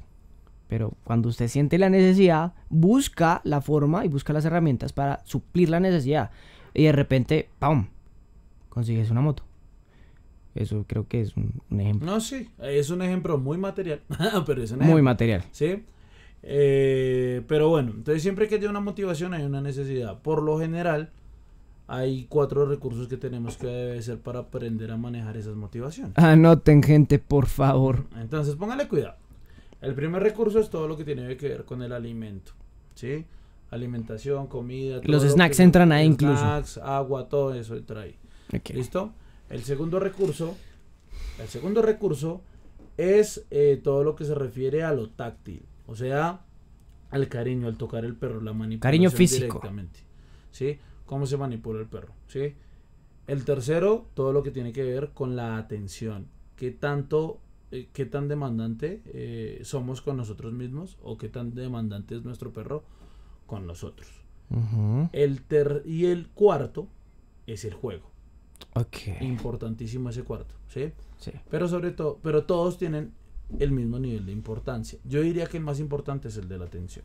Pero bueno, ¿qué es lo que ocurre con estos recursos? Si usted eh, deja la comida a disposición para el perro, el perro se aburre de la comida porque es un recurso de libre albedrío. Sí. Cuando usted tiene algo todo el tiempo y no tiene que trabajar por obtenerlo y tampoco tiene eh, absolutamente ninguna necesidad de obtenerlo, eh, pues ese recurso va a perder valor. Entonces, por ende, el perro va a generar un problema con el tema de la, de la alimentación. Entonces esos son los perros, por ejemplo, que dejan de comer. Ay, que si el perro no come, entonces yo le echo pollito. Hecho pollito, ay, que la salsita. ay, que- Entonces, al inicio les va a funcionar la salsita, en dos, tres meses ya la salsita no funciona. Entonces, ¿qué hacemos? Entonces, cada vez el perro se vuelve de paladar más exquisito, por decirlo así. Sí, cada vez se va a volver más exquisito y cada vez el problema va a empeorar más y cada vez el perro va a estar peor nutrido. Una, una, una conocida eh, le daba salmón al gato. O sea, el, el- el gato comía mejor que yo. salmón. Ustedes saben lo mucho que me gusta el salmón. Y uno cada cuánto come salmón. Exacto, pero bueno, El gato comía todos los días ese feliz salmón. es, no es que es lo único que come y en Sí. seis meses ya no come. Ya no come. Exacto. Entonces, ¿qué es lo que pasa? Para generar una motivación tenemos que generar una necesidad. Eh, ¿Qué necesidad? ¿Cuál es la necesidad de la comida? O sea, ¿qué necesidad es la que genera que uno coma? Les dejo esa tarea, ustedes piensen. Siempre, siempre, siempre, siempre, siempre, cualquiera de estos recursos para que, para que funcionen, para que el perro tenga una necesidad por ellos, hay que hacer algo que se llama deprivarlos de esos recursos. Entonces, digamos, ¿usted quiere que su perro le haga caso? ¿De verdad quiere lograr una comunicación con su perro? Ok. ¿Cómo le pide usted a su perro que le haga caso si el perro sale tres veces al día a jugar con sus amigos, que no los ve todos los días, y en cambio usted está todo el tiempo con él? El perro se acostumbra a tu presencia y dice, yo lo tengo ahí todo el tiempo. Entonces usted cómo le pide a ese perro que acuda al llamado, que cuando usted lo llame venga, ¿por qué? Si estar estar con usted es algo que no tiene una motivación. ¿Por qué no tiene una motivación? Pues porque todo el tiempo está con usted, todo el tiempo está encima suyo. Entonces no tiene una motivación estar con usted, ¿sí? Por eso su perro no quiere acudir al llamado. Tristes verdades de la educación canina. Eso, por ejemplo, eso, por ejemplo, fue una de las cosas más duras en ese proceso con Aria. A mí me parece que fue una de las cosas más duras porque nosotros de verdad teníamos inundada a Aria de cariño y de atención. De verdad, sí. Y obviamente, pues es que Aria, para los que han visto, Aria es un perro muy especial. Aria es un perro que se ve de verdad, que es entendido. Emocionalmente hablando, al menos. Es un perro que te muestra que está feliz, es un perro que cuando estás triste de verdad se ve preocupado por ti, o sea, de verdad es un perro muy especial en ese sentido. Sí. Y cuando empezamos a dejar de consentirla, ella venía, te hacía el pobrecito, o sea, el pobrecito es que te ponga el hocico encima de la pierna y te haga así como, por favor. Exacto. Entonces, eso por ejemplo era como, ay, pucha, no, tengo que ser fuerte. Entonces, nada, juguemos LOL. Que está ahí, juegue, juegue, ignórela. Muévala con la pierna como para que no te toque. Y entonces el perro se aburría y se iba y se achantaba. Y uno, claro, se le rompía el corazón a pedacitos. Pero eso fue lo que de hecho ayudó y solucionó, junto a todos los otros hábitos, al tema del escapismo, por ejemplo. Ahora iba ta, ta, ta. Y uno, llamémosla, ¿será que viene? Aria. Paraba esas orejas. Y traga, venía. Yo, no. ¡No! Eso fue, eso fue dos semanas No. después del De- proceso. del proceso. Eso fue dos semanas No. después del proceso. Fue muy, fue muy chistoso porque yo de hecho cogí a Aria eh, ese día, tan, me la llevé con la correa y le dije, llámela como si estuviera cantando. Acuerda? Sí, sí, sí, sí, sí, sí. Y ay, profe, pero es que, y llámela. Y seguro que no la ha consentido ni nada estos días. No, no la he consentido. Llámela y en el momento que la perra acuda, la va a consentir. Entonces, claro, la suelto yo y ese perro se va con toda y la consienten. La perra ni más volvió a, a escaparse. Sí. Entonces todo es depende de cómo manejamos esos recursos. Esos recursos, esos recursos, cualquier de esos recursos que se maneje de mala forma o de mala manera o se administre mal, va a todo. generar, va a generar un problema de conducta en el perro. Todo, todo, todo se basa en administración. Entonces, si usted administra mal el cariño, por eso es que buscan cariño en otro lado. Eh, O el país también. Usted le administra mal país y por eso es que tenemos el país como tan jodido Sí. ahorita. Pero pues bueno, para eso son esos espacios, al menos para reírnos de la desgracia. Entonces, ¿qué es lo que ocurre? Usted tiene esos recursos. Sí. Y usted llega y coge al perro. Y el perro con usted juega todo el tiempo. Todo el tiempo. O puede pasar dos cosas. O le genera un trastorno eh, al perro del comportamiento. sí. Que se vuelva obsesivo Compulsivo, o compulsivo por cuento. jugar. Ok. Con un objeto más no con usted. Mm, como pasa con algunos casos de algún deporte canino. No lo voy a mencionar es. pues para que no hayan O sea, con, eh, con el disco. cosas. Sí, exacto. Con el disco que pasa. Mucho. El perro se vuelve loco por jugar con el disco. Sí. Pero no por jugar Con contigo. la persona. porque eso, y eso lo hemos visto. Exacto. Al menos conmigo, nada a mí le gusta es jugar conmigo. ¿Sí? Ahorita está teniendo sus problemas. Hay que ponernos Firmes. Firmes, porque Está mal alcahueta. porque estamos muy alcahuetas. Pero eh, a Nami le gusta jugar conmigo. Punto. ¿Sí? Entonces, gente que. mm, Ay, pero es que no me juega. Saque el disco. Ah.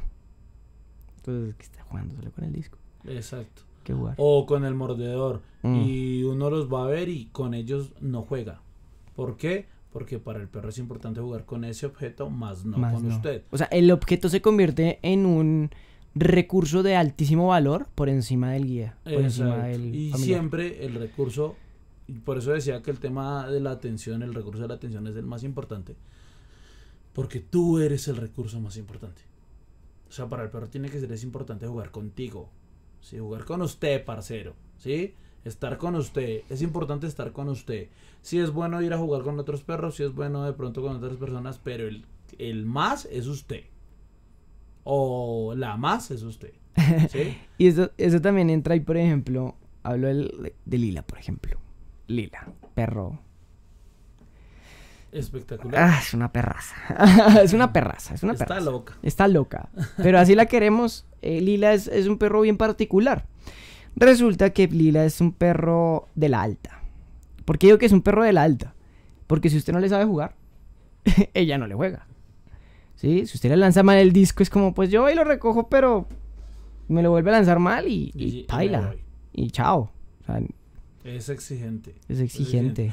Hay muchos entrenadores que me han dicho, no, eso se puede cambiar. Y sí, yo lo entiendo. Yo sé que lo, eso lo Y, y si cambiar. puede, claro que sí. Se puede cambiar. Pero ¿por qué le vas a yo cambiar esa- No lo quiero cambiar. Claro. O sea, a mí, a mí que me digan que quiero cambiar eso, pues sí, yo le digo, chévere, sí, se puede, todo bien. Pero para mí eso es una, digamos, una, un una característica y, y- y una, un- un- una ventaja que tiene que ella juegue con alguien que sabe jugar. Porque así mismo es como usted practicando algún deporte. Usted se va y juega con un novato y practica un deporte con un novato y el novato lo puede lastimar a usted. Usted, el, el- el novato se puede lastimar solo. Sí. ¿Sí? Así pasa con el disc dog. Tú lanzas mal el disco y el perro por hacer el trabajo bien, Bien hecho, se lastima. se puede lastimar. Entonces el perro se vuelve exigente y dice, no, lánceme bien esa vaina, no voy, compa. Exacto. Entonces se vuelve exigente y obviamente no va a jugar con cualquiera. Y eso a mí me daría una tranquilidad y diría, no, si usted lo lanza mal, ella no va, entonces... Exacto. A mí me parece espectacular eso. Exactamente, eso es lo que pasa. Entonces eso es lo que pasa con ella, por eso no se lo he querido modificar, es muy exigente en esos aspectos. Pero bueno, eh, bueno, to- retomando el tema de los recursos, Sí. entonces ya sabe, si su perro controla cualquiera de estos recursos, usted va a tener un problema de conducta. Puede que el problema de conducta sea muy leve, sea muy uh, tu, tu, chiquitico, pero ahí está presente. Problema de conducta como cual, que el perro no se puede regular emocionalmente. Un perro que sencillamente no se puede estar quieto y no puede estar tranquilo. ¿Cómo, cómo, cómo pasa esto? Eh, póngale una prueba sencilla. Siéntese usted en una mesa y tráigale lo que le traiga el perro. Usted no acceda. Y miremos cuánto tiempo se demora el perro En aburrirse. en- en regularse emocionalmente. ¿Sí?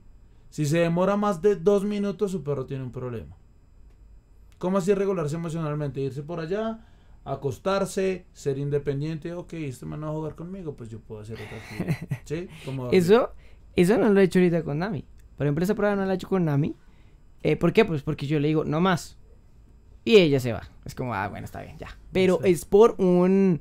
Porque yo lo digo, más no porque ella se aburra. Voy, voy a probarlo a ver qué, Mm. cuánto se demora Nami, porque ella sí es de buscarlo a uno a veces. Y se pone un poco intensa, porque ella es muy efusiva emocionalmente hablando. Entonces a ella le gusta mucho el cariño. Entonces, Entonces, ustedes, pues- digamos, está bien, no lo pongamos tan difícil, hagámoslo por cinco minutos. Ok. Eh, que la perra dure cinco, el perro dure cinco minutos sin eh, eh, molestando. De hecho, A ver qué pasa. de hecho no ha venido. me- Exacto. Pero Me sorprende. prestando atención. ¿Sí? Sí. ¿Cómo no se pueden regular emocionalmente? Porque todo el tiempo están cumpliendo una función. ¿Qué quiere decir cumplir una función? Mi función aquí es que cuando él está ahí, yo tengo que buscar afecto. Mi función aquí es que cuando él está ahí, yo tengo que llevarle un juguete. Mi función aquí es que cuando él está ahí, yo tengo Mm. que ladrar. Mi función aquí es que cuando él está ahí, yo tengo que llamar la atención de él. Eh, siempre, siempre que se manejan mal los recursos, eh, el perro va a generar eh, un problema de, algún, de alguna índole. Y no, y eso se convierte, y cada vez que uno le presta atención, obviamente eso se convierte en un reforzador. Exactamente. Un reforzador de esa conducta que nosotros estamos tratando de eliminar. claro. Eh, eh, tengamos claro que un reforzador no necesariamente es un premio alimenticio o comida. No, de hecho, de hecho hay una, un, un- un asunto, por ejemplo, pues no voy a entrar mucho en detalle porque pues digamos que eso es como con, eso es como eh, eh, un recurso, un- ¿cómo se llama esto? Intelectual, eh, un ah, propiedad intelectual, ¿sí? De, de la escuela canina. Y, eh, o bueno, pues de los adiestradores en general, de los educadores caninos. Reforzador, o sea, hay reforzador positivo y negativo, ¿no? Sí. Y necesariamente no se habla de que el reforzador es algo malo. Un reforzador negativo no es eso. Un reforzador negativo es restar. Se habla de matemáticas. Sí, de, de es un quitar, tema de de sumar y restar. Positivo es sumar. Eh, Y negativo es restar. negativo es restar. A excepción de un tema de entrenamiento ahorita que se está, que se está cogiendo como fuercita. Yo he intentado estudiarlo, pero no le veo mucho fundamento y no tiene mucho... eh, Es innovador, pero no tiene su base Mm. teórica. Mm, sí tiene algo de base teórica, pero pero no tiene una casuística, no tiene como ¿Una co- qué? una comprobación, por decirlo así, ¿sí? Y es eh, el, a- el famoso adiestramiento en positivo. Y se refieren eh, al positivo como algo místico y bueno, y no como en realidad se refiere a la psicología y al cuadrante Que es entregar. de, Dar. de- no al el cuadrante de la, de la psicología que es eh, refuerzo positivo refuerzo negativo castigo, Castigo positivo y positivo, castigo negativo yo según lo que veo y me corregirá alguien si estoy diciendo algo que está mal es que usan solo la mitad del cuadrante y ya o no usan solo una parte del cuadrante Sí, porque el, el- es solo el es- reforzador y ya pero Uy, no sé. mm, O sea, pero- siento que, siento que, no sé. O sea, yo en lo personal en este momento, yo también soy muy nuevo en esto y si hay algún adiestrador canino por ahí que tenga pues redes sociales y quiera participar en, en esto de pronto de otra disciplina, no disc sino de pronto, no sé, un agility, ¿sí? Sí. O algún otro deporte, que quiera venir al podcast, pues sería súper bacano, contáctenme y todo bien. Pero, por ejemplo, en lo personal yo digo, si usted quiere saber qué es dulce, usted tiene que haber probado la sal. Si usted quiere saber qué es algo agradable, usted tiene que probar algo amargo, ¿sí? Y justamente eso, el perro sabe qué es agradable y qué es desagradable. Y como es desagradable, pues yo sé que no quiero repetir esa condición, no quiero repetir esa, perdón, esa conducta, pues para no llevarme esa sensación desagradable. pues yo, diría- yo diría O para que- recibir el premio, más bien. Exacto.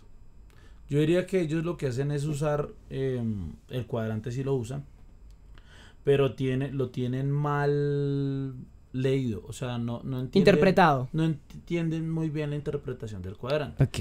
Y es que ellos, hay una parte que yo leía que decía que en vez de castigar las conductas hay que ignorarlas, pero, pero ignorar al perro también puede funcionar como un castigo. Sí, de cierta forma, porque tú, o sea, cuando tú estás ignorando, estás generando. Hay dos. Hay dos, hay dos cosas. Puede, puede que sea. No sé. O sea, yo lo veo como. Un. Se le puede decir un. No sé, de pronto ellos lo ven de esta forma. Puedo decir que es un castigo. Un, no. Es un refuerzo negativo. Porque le está quitando lo que a ellos les gusta, que es la atención. Pero pues uno se va al otro lado y dice, pues es que eso es un castigo positivo, que es Que al perro. que, Que, no tenga estoy. atención. Estoy, in- estoy generándole justamente eso, la ausencia de una ausencia. atención. A- acabo de incorporar la ausencia de. Exactamente. Entonces, bueno. Es- no sé si es una... Eso me parece que es un tema de interpretación netamente. Nos tocaría conseguirnos un entrenador especialista en eso y Ujú. ha sido difícil. Eh, de hecho, vi algunos podcasts adicionales y todo. eh, y, Ah, no, no, no me traiga competencia acá porque entonces que... Ah, y busqué, impor- y busqué información, pero la verdad no hay mucha información. Entonces, bueno, sería bueno traerlo y que defendiera su, su, su postura. su postura. Pero bueno, chévere. el tema es el siguiente y es que no me acuerdo de qué estábamos hablando. Eh, de los reforzadores. Ah, ok, entonces los reforzadores no necesariamente tienen que ser comida. El afecto es un reforzador Sí, también, total. el cariño, el tacto. eh, el juego es un reforzador, eh, la exploración es un reforzador, eh, la libertad es un reforzador. Hay muchísimas cosas de hacer y de premiar a un perro no necesariamente con comida. Pero para eso necesitamos que todos esos recursos tengan valor. Sí, claro. ¿Sí me hago entender? Entonces, si tú estás trabajando con tu perro y para tu perro lo que más tiene el valor es, en vez del premio, es ir a jugar con otro perro, pues el premio al terminar el trabajo bien puede ser ir a jugar con ese perro. Ah, ¿Sí? O sea, no es Sí. necesariamente, el premio no, no necesariamente tiene que ser eh, entregar comida. ujú. ¿Sí? Todo depende de cómo manejemos los recursos. Para que esos recursos tengan valor tenemos que privarlos. Si un perro no come bien, pues hay que empezar a generar unas rutinas con la comida para que precisamente empiece a comer bien. Si un perro obtiene cariño todo el tiempo y obtiene atención y ese perro tiene problemas de escapismo o que no acude al llamado o X o Y problema, entonces tenemos que empezar a manejar ese tema de ese recurso y empezar a trabajar sobre ese recurso para que el perro empiece A valorarlo. a valorar ese recurso, ¿sí? Nadie, tie- nadie sabe lo que tiene hasta, Hasta que lo pierde. Exacto. Así funciona. Así- son los recursos. Tú no puedes tener motivación Sí. eh, si no tienes una necesidad. Necesitas tener una necesidad para tener una motivación, Total. ¿sí? Y eso es algo natural. Los felinos cazan por hambre. Sí, y aprenden a cazar para poderse alimentar y para poder sobrevivir. Y los perros son de oportunidad. Y los y así así funciona. Con nosotros funciona de esa manera. ¿Tú por qué trabajas? Porque tengo hambre. Sí, no, de verdad, porque tienes que comprar tus cosas. Claro, Tú lo sí. dijiste, acabo de adquirir una moto, tengo que pagar esa moto. Claro. Necesito esa moto para movilizarme dentro de la ciudad, para poder ejercer mi labor y demás. ¿Sí? Tenemos una necesidad, por eso hay una motivación. Así de fácil. Ok. Así funciona. Ok, bueno, y entonces ya, listo, pasándonos de pronto a otro tema. eh, justamente, pues de nuevo, o sea, retomar como el asunto de, de- de tus perros. O sea, son cuatro, ¿no? Bruno, eh, Lila, Casper, Win, que es la nueva, es reciente, que es hija de, de Lila. Sí. De hecho, eh, hay, bueno, hay un asunto que, por ejemplo, a mí fue lo que más me, una de las cosas que más me gustó justamente con el profe Checho fue, pues, el, el- el asunto de la comunicación, ¿sí? Hay una, una anécdota muy particular que a mí de verdad me llama muchísimo la atención justamente por que ahí se demuestra justamente el tema de la comunicación y otra también que ahorita les cuento un poquito de lo que está haciendo justamente eh, el profe y es que ahorita como tuvo camada justamente Lila El año pasado. el año pasado Recién. eh, reciente el, el año pasado justamente eh, pues tuvo camada y pues tuve la oportunidad de estar por allá y obviamente me enamoré más de la, del tema de la crianza y hay otro también un asunto que yo también comprobé o sea ya por, o sea, así como, creo que eso, ¿quién era? Pablo, el que le metía la llaga a Jesús, que hasta que no ver, no creer. Algo No, así no es me. No me acuerdo. No, yo tampoco soy de eso. Pero pues es un ejemplo bastante particular. Y era lo del aprendizaje gametomimético, que además me costó un montón aprenderme la palabra. Gameto mimético. Exacto, porque yo era, escribía, le escribía al WhatsApp a, Checho. Profe, profe, ¿cómo es que es el, el aprendizaje eh, eh, game, game Primero le tocó mimético? aprenderse Game- aprendizaje. Sí, primero me tocó eso. Y era como, venga, ¿cómo es que es eso? ¿Cómo es que es eso? No, Gametomimético. gametomimético. Ok, ok, ok. Entonces, eso lo comprobé recién con Are y con Nami. Ahorita les cuento sobre esa, esa, esa experiencia. Y eh, lo de la comunicación, que creo que es lo más bonito que cuando tú tienes un perro que de verdad aprenda a leerte, tú aprendas a leer el perro y de verdad se genere... O sea, como que tú de verdad entiendes al perro. O sea, no necesitas ser el doctor Doolittle para entender el perro.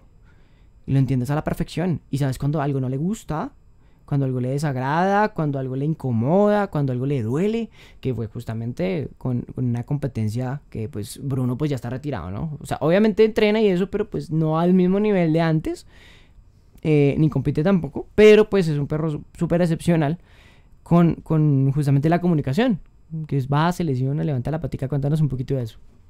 Ah, bueno. eh, lo que pasa es que, bueno, hace mucho tiempo, hace más o menos unos 5 años, 5 o 6 años, eh, yo solo tenía a Bruno en esa época y Bruno sufrió una lesión, de- una lesión del tendón de Aquiles, lo tuvieron que operar y todo. Eh, haciendo una práctica muy, o sea, estaba, estaba yo entrenando, eh, entrenando un ejercicio que se llama leg ball. El perro, en ese momento yo no tenía tanto conocimiento como lo tengo ahora de cómo se trabaja eh, eh, la estructura muscular del perro para que precisamente esas cosas no pasen. Ahora ya Sí. lo tenemos.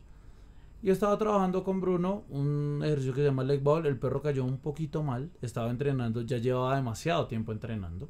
Demasiado tiempo. ya Eh, eso, eso es importante saberlo, ¿no? Como que hay unos lapsos, o sea, usted cuando está entrenando algún deporte, usted no es como todo el día entrenando, ¿no? Usted tiene dos horitas de entrenamiento y pare y el No, resto es recuperación.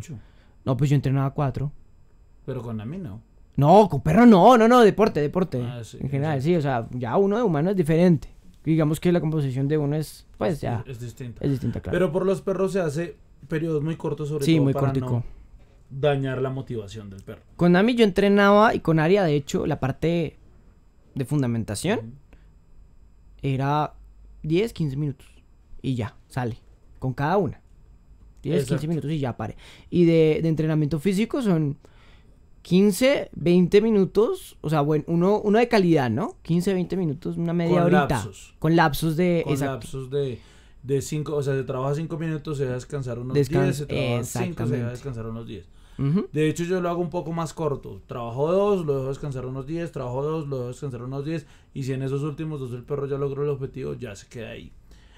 Entonces, bueno, eh, el tema es el siguiente. Y es que eh, se me olvidó de que estábamos hablando. Eh, de, de Bruno. Ah, bueno, la lesión de Brunito- Brunito. Eh, empezó, empezó ese día a cojear.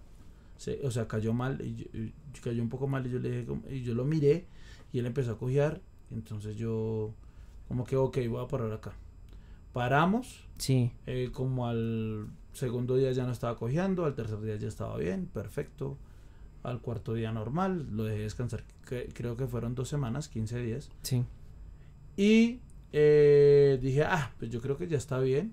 Lo voy a sacar a jugar un rato. Entonces ahí en el conjunto, esos parches que se arman de perritos y demás. Entonces lo dejé jugar un rato, estaba jugando, ya llevaba un ratico jugando. Y en una, eh, hay una perrita que es negrita, que, que es del conjunto también, ya tiene sus años. Estaba jugando con ella y el, la perra hizo como, como un, un movimiento extraño y el perro la intentó saltar. Y al intentarla saltar cayó súper mal. Y empezó a gritar Ay, Dios mío. durísimo. Pero gritaba como... Ese perro es muy raro que grite porque él se va a totazos y todo y, Y pues- no, no le importaba. Y seguía normal. Un guerrerito, Bruno. a diferencia de Casper, que Casper sí medio se... medio se toca con algo y pega el. Es Neymar. Es Neymar. Ese es el Neymar del listón.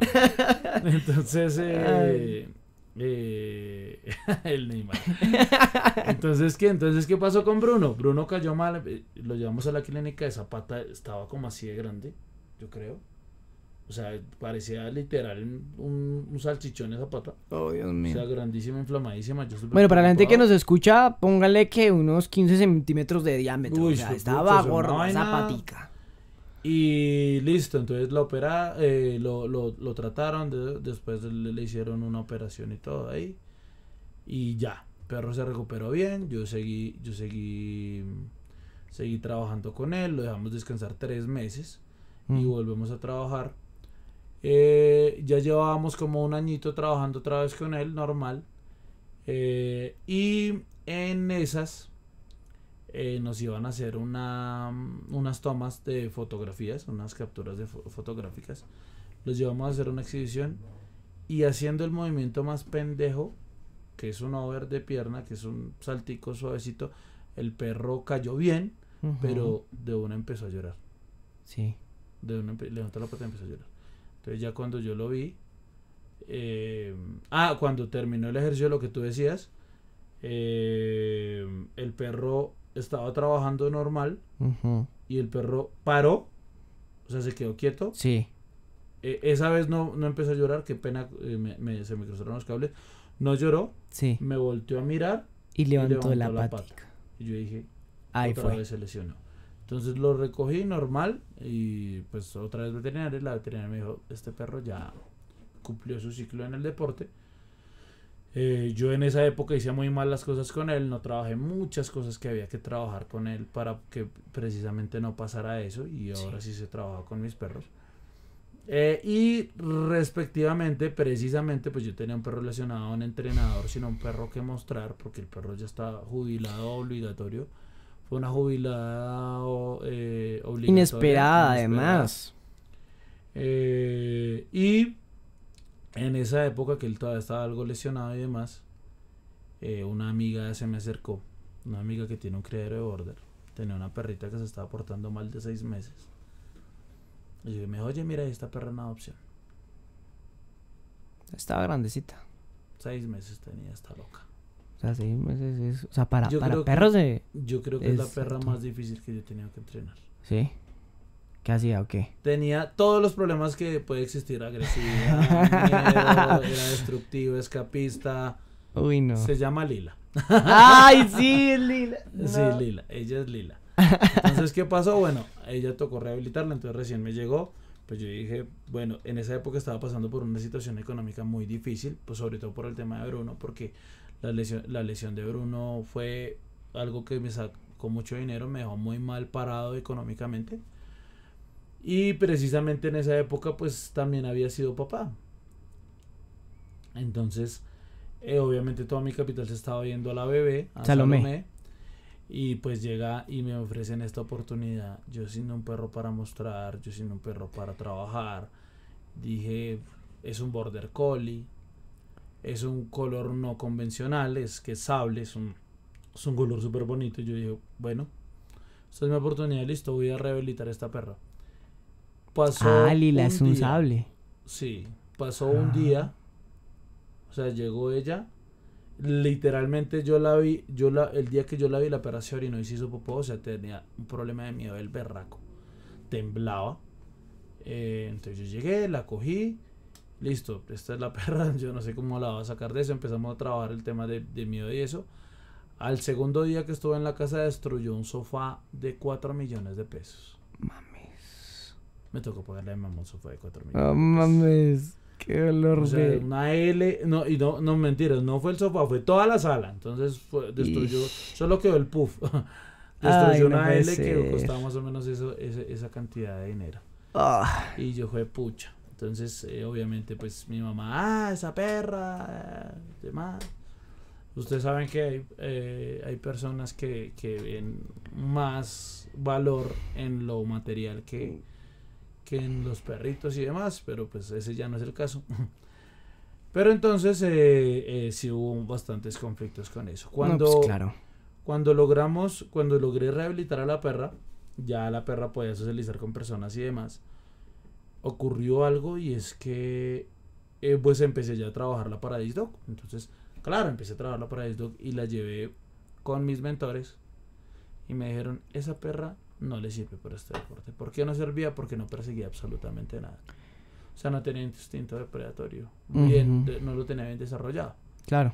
Entonces eh, le lanzamos pelotas, no le lanzamos un palo, no le- nada. Esa perra no jugaba con O nada. sea, no. Le pusimos una cuerda hacia vibrar, no jugaba. con Nada. Nada, nada. O sea, ni por más llamativo que fuera Nada, o sea, el hicimos- instrumento, nada. absolutamente un montón de cosas, nada funcionó. O sea, esa perra, me dijeron, no, esa perra no le sirve, cambie, devuelva esa perra.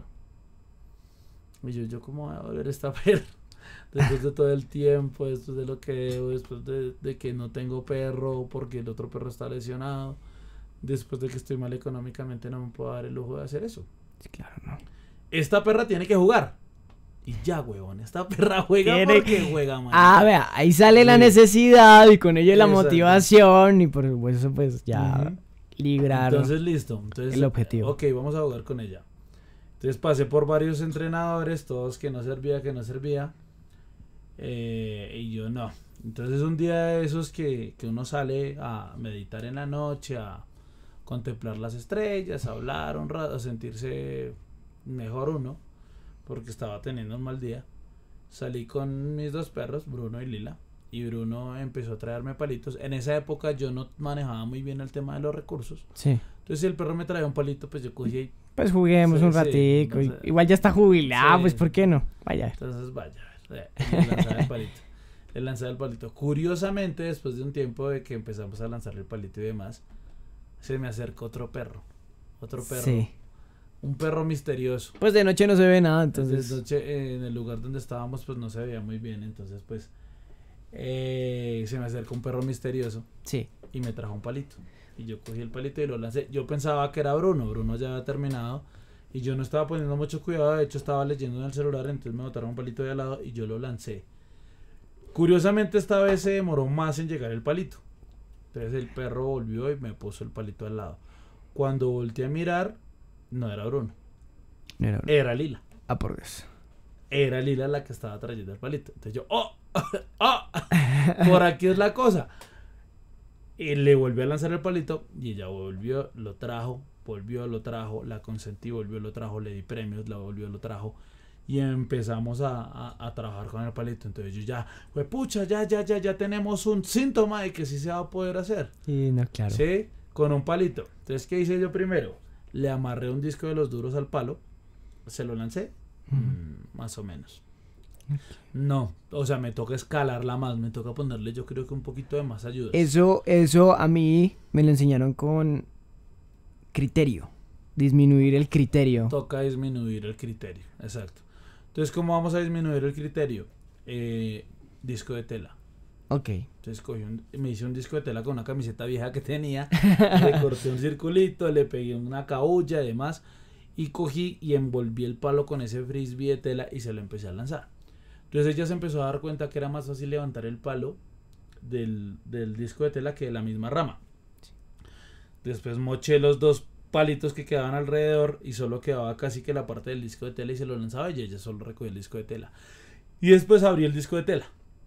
Se lo lanzaba ella, iba a recoger el disco de tela y listo. Ya después le botaba solo el disco de tela, empezó a jugar y yo dije, no, esto es maravilloso, esto es lo mejor del mundo, ta, ta, ta. Wow. Empezamos a trabajar, bla, bla, bla, bla, bla. Ya empezamos a hacer roller. Roller es lanzarle el disco por el piso al perro rodando, lo más rápido que se pueda.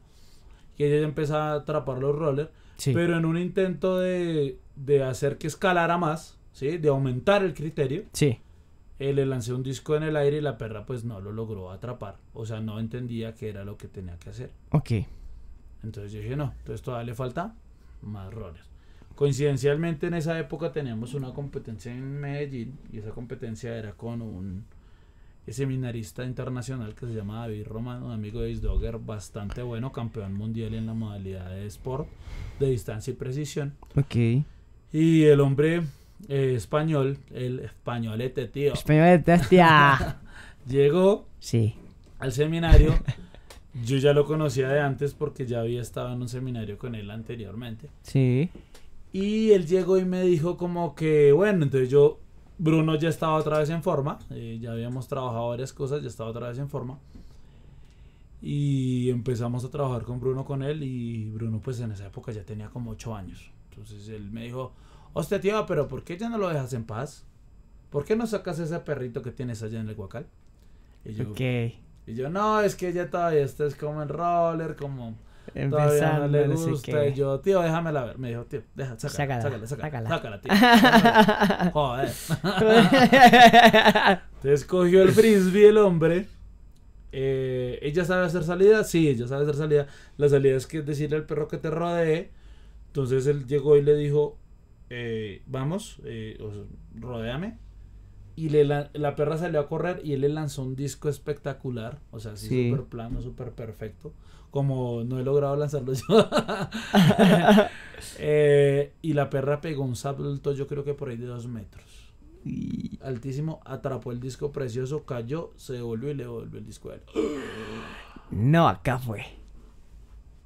Todos en el, en el, en el seminario, los que estábamos todos, ¡oh! ¡Qué salto tan espectacular! Esa fue la, esa fue la, la, la, la frase que él dijo. O sea, es espectacular. Tienes una perra espectacular.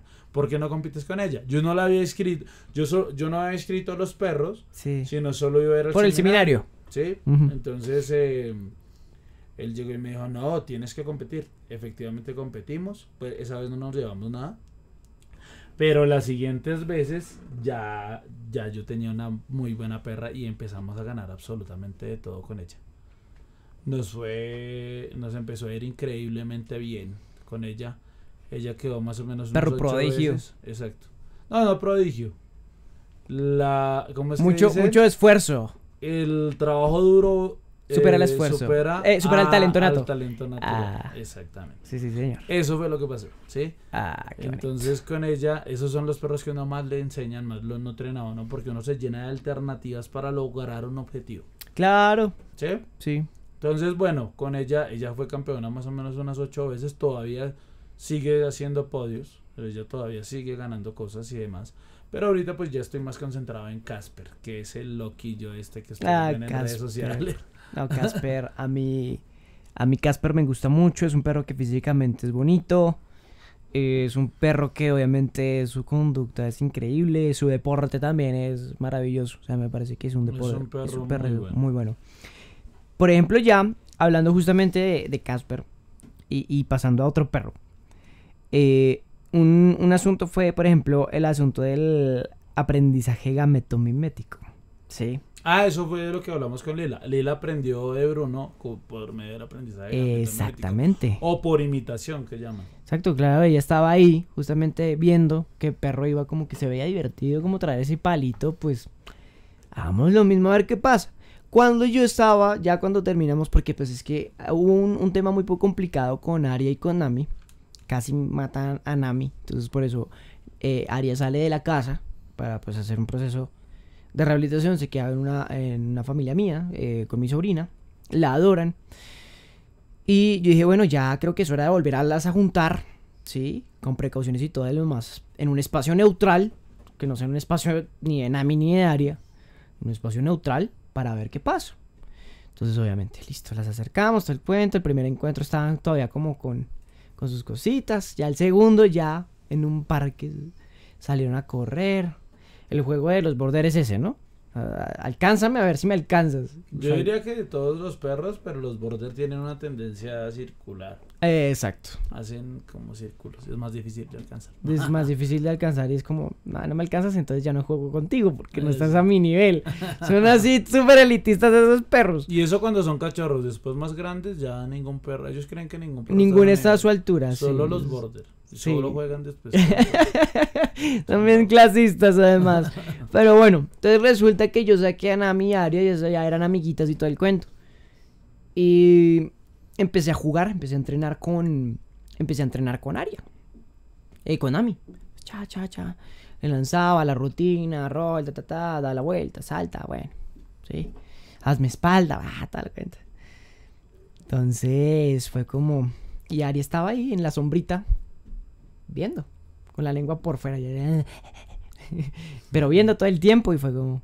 Y yo miré a Aria, miré el disco y dije, ¿será?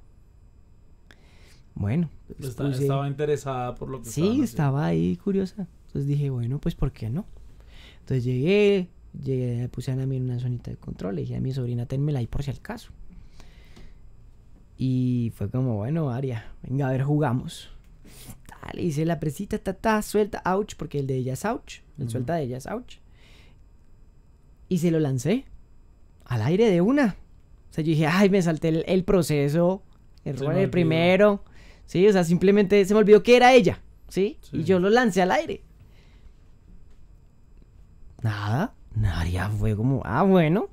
Ta, ta, ta, corrió, corrió, corrió, saltó y en el aire. Lo atrapo. Y lo atrapó. Ella jamás, jamás había visto un disco.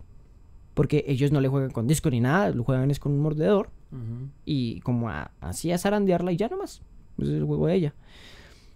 Nunca había lanzado una pelota, yo nunca le había enseñado a jugar con disco. Ya también estaba con el juguete nada más.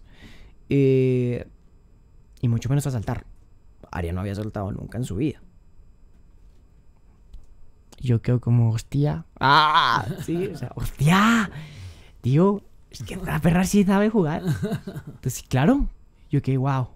Nada, entonces sigamos. Ya lo agarró en el aire, pues ya no le voy a bajar el criterio. O sea, ya no le voy a, o sea, no hay necesidad. Fuera que hubiera fallado o no hubiera saltado ni nada, yo digo, listo, le bajo el criterio. Pero no lo agarró de una. Entonces, bueno, hágale, pum, y corra y corra y hágale, chun chun, ya listo, la dejé iniciada, listo, se acabó. Ahí quedó el ejercicio. Y ahí es donde dije, wow. O sea, de verdad, el aprendizaje por imitación, el aprendizaje gametomimético, es, es toda una realidad y que cosas que de pronto se pueden, pues justamente eh, de pronto, ¿cómo se dice? Como subestimar, porque a la larga ahorita, con Win, cuando está todo el tema de la camada, que este también es un tema que me apasiona muchísimo, eh, justamente Win está aprendiendo es así. Tiene a esos otros tres monstruos de perros que son increíbles. Pues obviamente aprende mirando y pues ahí está. Lo aprende más natural, ¿no? Es, es más, más...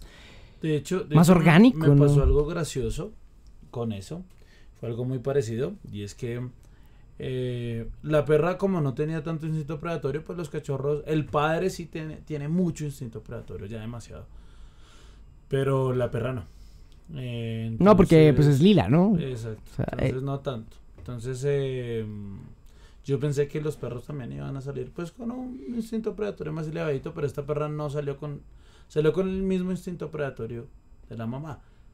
Era más fácil porque pues estaba más cachorra. Le lanzó un roller, el disco rodando y la perra lo atrapaba una o dos veces. Saqué premios, le di un premio, le volvió a lanzar el roller y la perra me dijo, "No, ya no. Yo quiero el premio." Ok. Entonces me dijo como que no, no. Cuando le presenté la comida, la perra paró automáticamente de jugar. O ¿Sí sea, ya el... Sí, ya, claro, o sea, reemplaza Claro, El es más juego, importante el la, com- la comida que el juego. Sí, entonces yo dije como que, ah, ok, por acá va la cosa. Entonces dos días la trabajé así, de ta, ta, ta, le daba el, el premio, ta, ta, ta, le daba el premio. Y la puse en un tronquito y saqué a Casper. Y con Casper hacía un ejercicio, muy bien premio, lo consentía. Hacía otro ejercicio, bien premio, lo consentía. Hacía otro ejercicio, bien premio, lo consentía. Bien premio, lo consentía. Y a ella eh, le lanzaba un disco, ella iba, lo atrapaba, le daba un premio y ella cortaba el juego porque quería más premios y no quería pues, seguir persiguiendo discos. Entonces yo cortaba el juego. Claro. Y volví a trabajar con Casper para que ella se diera cuenta que el perro iba, estaba recibiendo más premios Por completar de- los ejercicios. y maravillosamente ella, la primera le lancé el roller, fue, lo atrapó, le di el premio, la segunda le lancé el roller, fue corriendo, se quedó mirándome y se devolvió por el roller, fue, lo cogió, toma tu premio, volví a lanzar otro roller, fue, lo cogió y ya dije, ya, dije, ya, Ya ya entendió. Ya entendió. Sin necesidad de trabajar demasiada motivación ni nada, sino sobre todo haciendo que ella vea a sus hermanos trabajar. Claro. Entonces es, es maravilloso ese tema. Es muy, muy, muy, muy, muy interesante porque eh, tú puedes eh, acelerar muchísimos procesos. ¿Mm? Claro. Son, o sea, se aprende más, más sencillo. O sea, lo que decía es más orgánico, es más natural para ellos aprendiendo vie- viendo, justamente. Porque, o sea, imagínense, son perros. O sea, los perros su instinto, algunos, bueno, cazaban, otros eran carroñeros. Pero todo era viendo. Pero, exacto, o sea, no es como que ven, yo te enseño, así se casa. No, hombre. Ellos iban, cazaban a los grandes y era, ah, ok, Ah, así es que... Ah, De es pronto que los regañaban al inicio porque no lograban inhibirse de forma motriz, no lograban quedarse quietos, porque quedarse quieto es fundamental para la supervivencia de Eh, cualquier individuo. Claro, Eh, entonces eh, eh, no lograban quedarse quietos, entonces de pronto los regañan, sí. porque eso, que no se queden quietos ellos, espanta a las presas. Claro, sí, sí, de que están ahí. Sí, se avisa y es como, no, compa, usted tiene que estar ahí ya. Eso, Espere, es momento oportuno y ahí, es. prum, con toda. Y es que es con toda, no es como que voy a salir despacio a ver si lo alcanzo. No, nada, con matar. toda a, a- a lo que dé. Por eso, por, y ellos tienen periodos muy corticos de tiempo para cazar dos, tres minutos. Entonces ahí es donde está el tema de la motivación. Por eso el tema de la motivación. Básicamente estamos trabajando como si el perro estuviera estuviera estuviera eh, cazando. Lo que yo te dije a ti en algún momento, en algún momento Michael, como él recibió también otra formación, me dijo, profe, no quiero regalar a regañar a la perra por morder, porque si no, yo la quiero especialista para Dog y después no me muerde. Yo le dije, no señor, no la deje morder. Precisamente es por eso que. No la deje morder. Entonces, no, pero ¿cómo así? A mí me han dicho que toca es dejarlos morder. No, no, no, no, no, no. no. El enfoque es diferente. El enfoque es diferente. Déjela, no la deje morder. Eso, por ejemplo, es, es un asunto que también, por ejemplo, cuando estábamos con Ari, con Nami, todo el asunto, habían cosas que en algún momento como que chocaban. ¿Sí? O sea, como que esto no era, pero esto nos están diciendo que lo hagamos, entonces no entendemos. Entonces ahí yo, obviamente, me puse en el chip de hay que recibir todo, sí, hay que recibir todo, hay que saberlo interpretar y hay que saberlo aplicar. Un, eh, por ejemplo, usted en la casa, usted es deportista, no, no es deportista. Entonces, pues, su dieta debe ser acorde. Entonces, su nivel de calorías, in- de, ingesta de calorías es bajita. Vamos a ver si conseguimos también un nutricionista por ahí, que eso también sería muy interesante tener. Eh, su ingesta de calorías es bajita, sus carbohidratos también. ¿Por qué? Porque uno los necesita, es una persona sedentaria. Y si los, si los empieza a consumir, ¿qué pasa? Pues obviamente eh, su peso, su salud, pues se va a ver reflejada justamente en esta ingesta. Si usted es deportista de alto rendimiento, usted necesita calorías. Necesita unas altas cantidades de calorías, carbohidratos, lípidos, etc. ¿sí?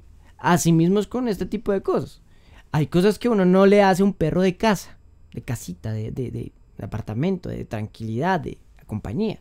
Pero hay perros de deportistas que sí necesitan esas cosas, que sí necesitan ser estimulados de ciertas maneras y con ciertos, digamos, con ciertas conductas, como lo es inhibir una mordida para que cuando muerda sea lo más espectacular del planeta y tenga ganas de seguir mordiendo y no ¿Por se vuelva natural y se aburra. ¿Por qué? Porque, se, porque ¿qué se genera?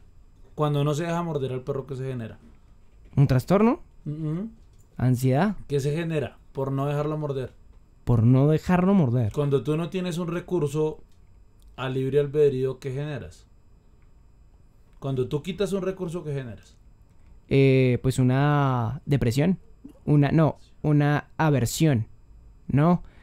No, no tengo ni idea. Motivación. Ah, ya, ok, ok, ok. Una Motivación. motivación. Cuando tú no tienes algo a libre albedrío, tú no puedes acceder a algo de, de forma libre. Porque se genera una necesidad. se genera. una Ah, bueno, ya. Entonces, por eso te decía Ahorita antes- le estamos hablando. Ay, No, mi chef es muy pendejo. Huevón, no dejes. No, es que si muerde los muebles, yo no la puedo regañar porque se daña la mordida. ¿Qué? No, claro, hay que regañarlo. No, no la deje hacer eso. O sea, usted se va a quedar sin muebles y sin casa. Ariel nos No, dañó no, una. no. Nos hizo un Exacto. así de grande en una silla. Exacto, entonces yo llegué y le dije, no, vamos a trabajar y vamos a dejarla morder porque vamos a no dejarla morder, pero cuando la dejemos morder que lo haga con intensidad, porque necesitamos que Claro. con intensidad, Motivación. necesitamos que juegue con intensidad. Entonces hay muchas cosas que con las que todo es todo es cómo manejemos esos recursos. Si, si eh, a mí me ha pasado mucho y es que yo llego a muchos hogares a, a Michael le costó sobre todo con Aria, ya con Nami fue muchísimo más fácil. Y es que eh, la gente le pide a uno muchas cosas. Uy, no, terrible. O sea, no, uno yo- quiere que le solucionen la vida, no solo del perro, sino de la familia también. Exacto. Entonces yo quiero que mi perro sea el mejor, yo quiero que mi perro haga de todo, yo quiero que mi perro ta, ta, Sin ta, ta, ta. esforzarse en lo más mínimo. Bueno, entonces vamos a trabajar eso, listo. Vamos a cambiar estos, estos, estos, estos, estos y estos aspectos. Sí. Uy, no, ¿cómo así? Sí, claro, toca cambiar esos aspectos porque necesitamos que el perro esté motivado a hacerlo. A mí me pasó que el una. perro- Y la, y, y la gente, la gente quiere cambiar a su perro, quiere que su regule. Pero no quieren cambiar ellos. pero no Desisten. cambiar ellos. A mí me pasó así. O sea, yo llegué al- a, la casa de la chica y le dije, bueno, eh, el curso cuesta tanto, es así, ta, ta, ta. Y eso es lo que tienes que hacer. Y ella quedó, no, pero es que eso es lo que hace el perro. Y yo, pero tú quieres que cambie ciertas cosas, ¿no? Sí. Entonces no tienes que dejar que haga eso. No tienes que hacer ciertas cosas. Y ya después no quiso programar más clase. Porque justamente desistió. Porque se dio cuenta de que. O sea, no me dijo nada. O sea, fue como. No, no puedo, no puedo, no puedo. Siempre era no puedo, no puedo, no puedo. Yo, pues bueno, pues yo seguía obviamente tratando de programar la clase porque pues no quiero que digan, ah, no, es que él se- simplemente se perdió o algo. No, yo siempre estuve ahí encima. Exacto. Hasta un momento en el que ya dejó de responder. Entonces yo dije, no, pues entonces ya es cosa de ella. Entonces, ¿qué pasa? Que cuando, cuando eh, las personas no quieren cambiar, o sea, las personas te están pidiendo a ti, parce, yo necesito que este perro se logre regular emocionalmente. ¿Qué es regularse emocionalmente? Que esté tranquilo. Un perro que maneja los recursos, un perro que tiene recursos o acceso a los recursos a libre albedrío, nunca va a regularse emocionalmente, va a ser muy difícil. Pero las personas te piden a ti eso sin ellos regularse emocionalmente. O sea, mira, eh, tú quieres que tu perro te acuda bien al llamado y disfrute estar contigo, no lo consientas tanto. Hay ciertos lugares y ciertos momentos para consentirlo y por ciertas razones. Pero es que el perro me hace caritas, pero es que el perro, pero es que... mm, pero es Aria. mm, mm, y no puedo resistirme. Entonces, Ay, no. si tú no te puedes regular emocionalmente, ¿Cómo esperas que el perro también lo ¿cómo haga? le pides al perro que se regule emocionalmente? Claro, sí, no, Es complicado. imposible. No, no, no. Regúlate tú y así el perro lo va a lograr. Claro. Así de fácil. Es como los que eh, hay personas que uno está en el parque entrenando con sus perros y ven el perro, ¡ay, tan divino! Yo lo tengo que coger, lo tengo que abrazar. Noticia, noticia. A los perros no les gusta ni que los alcen, ni que los abracen, ni que les den besos. Eso, eso, mira, ahorita me pasó. Ahorita me pasó con Nami.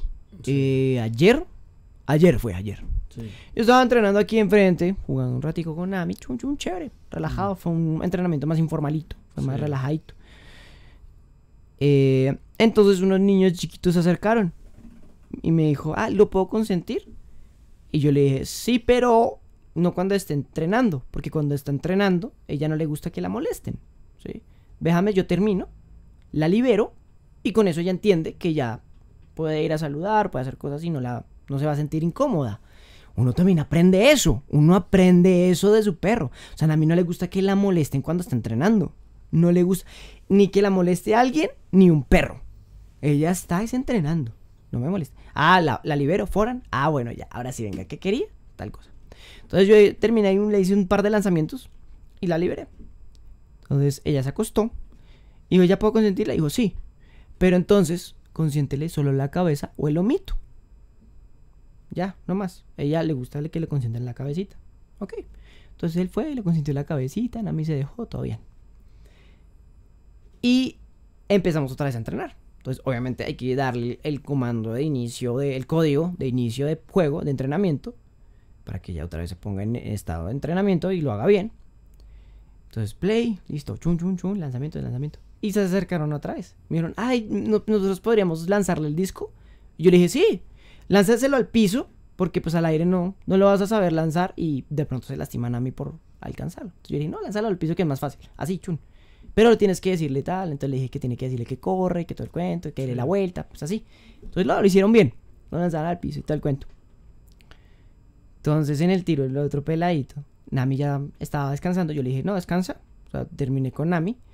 Y yo empecé yo a entrenar, porque es que eso también es de uno. Uno también entrena con el disco. Y estoy sacando el salto así. cha, cha. ya me está saliendo chévere. Entonces, eh, y estoy durmiendo el disco y pasándomelo por la mano y todo el cuento. O sea, Sí. los ejercicios que, que me enseñaste. Entonces yo listo. Iba al chino. Nami estaba sentada. Y Nami es una señorita, ¿no? Nami es su perro. No me gusta que me invadan mi espacio personal. Entonces el niño fue, se sentó al lado de ella y se mandó a abrazarla. Nami de una me hizo, me hizo caras, o sea, como que me miró y yo, no la abraces más, suéltala. Ella de una, echó, señales de calma. Orejas atrás, ojo de ballena y mirada esquiva al niño. Ojo de ballena es, el ojo de ballena es como lo mismo que dicen de ojos de luna o que el perro empieza a hacer como esto. Como, ay, ¿qué vas a decir? Empieza, pero siempre es en dirección contraria. Contraria a, lo que le genera, la, incomodidad. la incomodidad. O lamerse la nariz. O incluso lamerle la cara al otro. A, la incomodidad. ¿Por qué lamerle la cara? La gente dice que no, que es que eso es amor. sí, eso también es, eso no es amor. Los perros muchas veces aprenden que la forma de hacer que esa persona se aleje es lamerle la cara. Porque para la persona es muy lindo, pero es incómodo. Y cuando el perro lo hace, lo sueltan, lo quitan, lo, le quitan la incomodidad. Entonces el perro aprende a decir, le lamo la cara. Eh, él se quita. Hay otros que son más extrovertidos y muerden. Nami, Nami, por ejemplo, ella aprendió a que la forma de alejar a las personas es dándole besos duro. O sea, trompetazos. Entonces, claro, yo le dije, suéltala ya. Y el niño, ay, pero ¿por qué? Entonces Nami ya no aguantó y de una le hizo dos saltos y pues le pegó en la boca al niño. Dos trompetazos. Dos trompetazos. No la mordió, o sea, Nami no tira a morder. Nami lo único que muerde es el disco, porque se le enseñó a que lo único con lo que juega a morder es, el, disco o el mordedor, nada más, ni las manos, nada. Prohibido jugar Prohibido. Con ahorita les cuento partes de su cuerpo prohibido. Exacto. Entonces, entonces el niño, ay, no, se puso a llorar. Y yo, pero pues yo te dije. O sea, lo siento en el alma, pero es que ella estaba incómoda. Yo lo noté. Le dije, te dije, suéltala. No la soltaste. Y a ella no le gusta eso. Exactamente. Y sale, para y contar. Entonces, por ejemplo, una cosa que dice justamente Checho es, no le jueguen con las manos, ¿sí? O sea, que, ay, que es que, no, es que a mí me encanta que me lama las manos y que me las muerta, y porque es que me quiere y me da besitos. Y porque es un cachorro y el, eso es normal. Eso es normal, no, señor.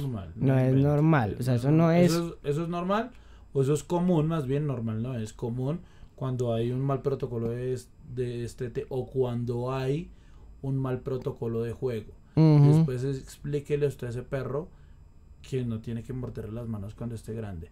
Después el perro también aprende a que esa es una forma de alejar. alejar porque usted siente dolor cuando el perro le muerde las manos. Entonces es una forma de controlarlo a usted. Y ahí se generan muchos problemas de agresividad. La mayoría de problemas de agresividad que yo he atendido, por ejemplo, lo primero lo que tiran los perros las manitos. es a las manos. Y es curiosamente, por lo general, cuando empiezan a jugarle con las manos a los cachorros. Ahorita teníamos una que taloneaba, ¿no? Ay, sí, sí, sí, terrible. Maca, Macarena, taloneaba terrible. Terrible, pero bueno, eso se, se dio por otras razones. Sí. Eh, pero también fue por un mal protocolo de, en este caso, de trabajo. Ok. ¿sí? Pero bueno, el tema es, es, que, es que los perros dan muchas señales. Eh, y un perro por lo que pasó con, con Nami, precisamente no quiere decir que Nami sea agresivo. No, no, para nada. Para nada. Es como usted, o sea, usted va por la calle y, llega, alguien a, darle besos. Usted dice, ¿qué le pasa? Pero no significa que por eso usted sea violento. depende. Depende, depende, depende. Porque si a mí me va a besar Scarlett Johansson, nah, me de todo, güey. ¿Sí? Bueno, depende. Entonces, ¿qué, ¿qué es lo que ocurre? Eh, ¿Qué es lo que ocurre? Un perro eh, tiene también su espacio personal. Sí, sí, eso es algo que la gente no entiende. no, y es que sabes por qué no lo entiende, porque hay muchas chicas de estas influencers, hay muchas influencers y demás en los videos abrazando y dándole besos a los perros. Ah, de una forma obsesiva. Eso no, o bueno, se puede trabajar para que les empiece a gustar a los perros. Se puede trabajar, sí, pero eso a los perros no les gusta. Y se ve claro en los videos cómo se lamen la nariz, cómo hacen ojos de luna, ojo de ballena, cómo intentan alejar la cara, cómo les lamen la cara para intentarlas alejar y demás, porque en realidad eso no es una conducta que a ellos les guste. Hay formas de tocar al perro y de manipular al perro mm. que sí les gustan, sí. Pero esa no es una forma. ¿Qué, qué ocurre? Como mi perro se deja hacer esto, todos los perros se tienen que dejar hacer esto. No, y ahí no, vienen no. las mordidas a la cara.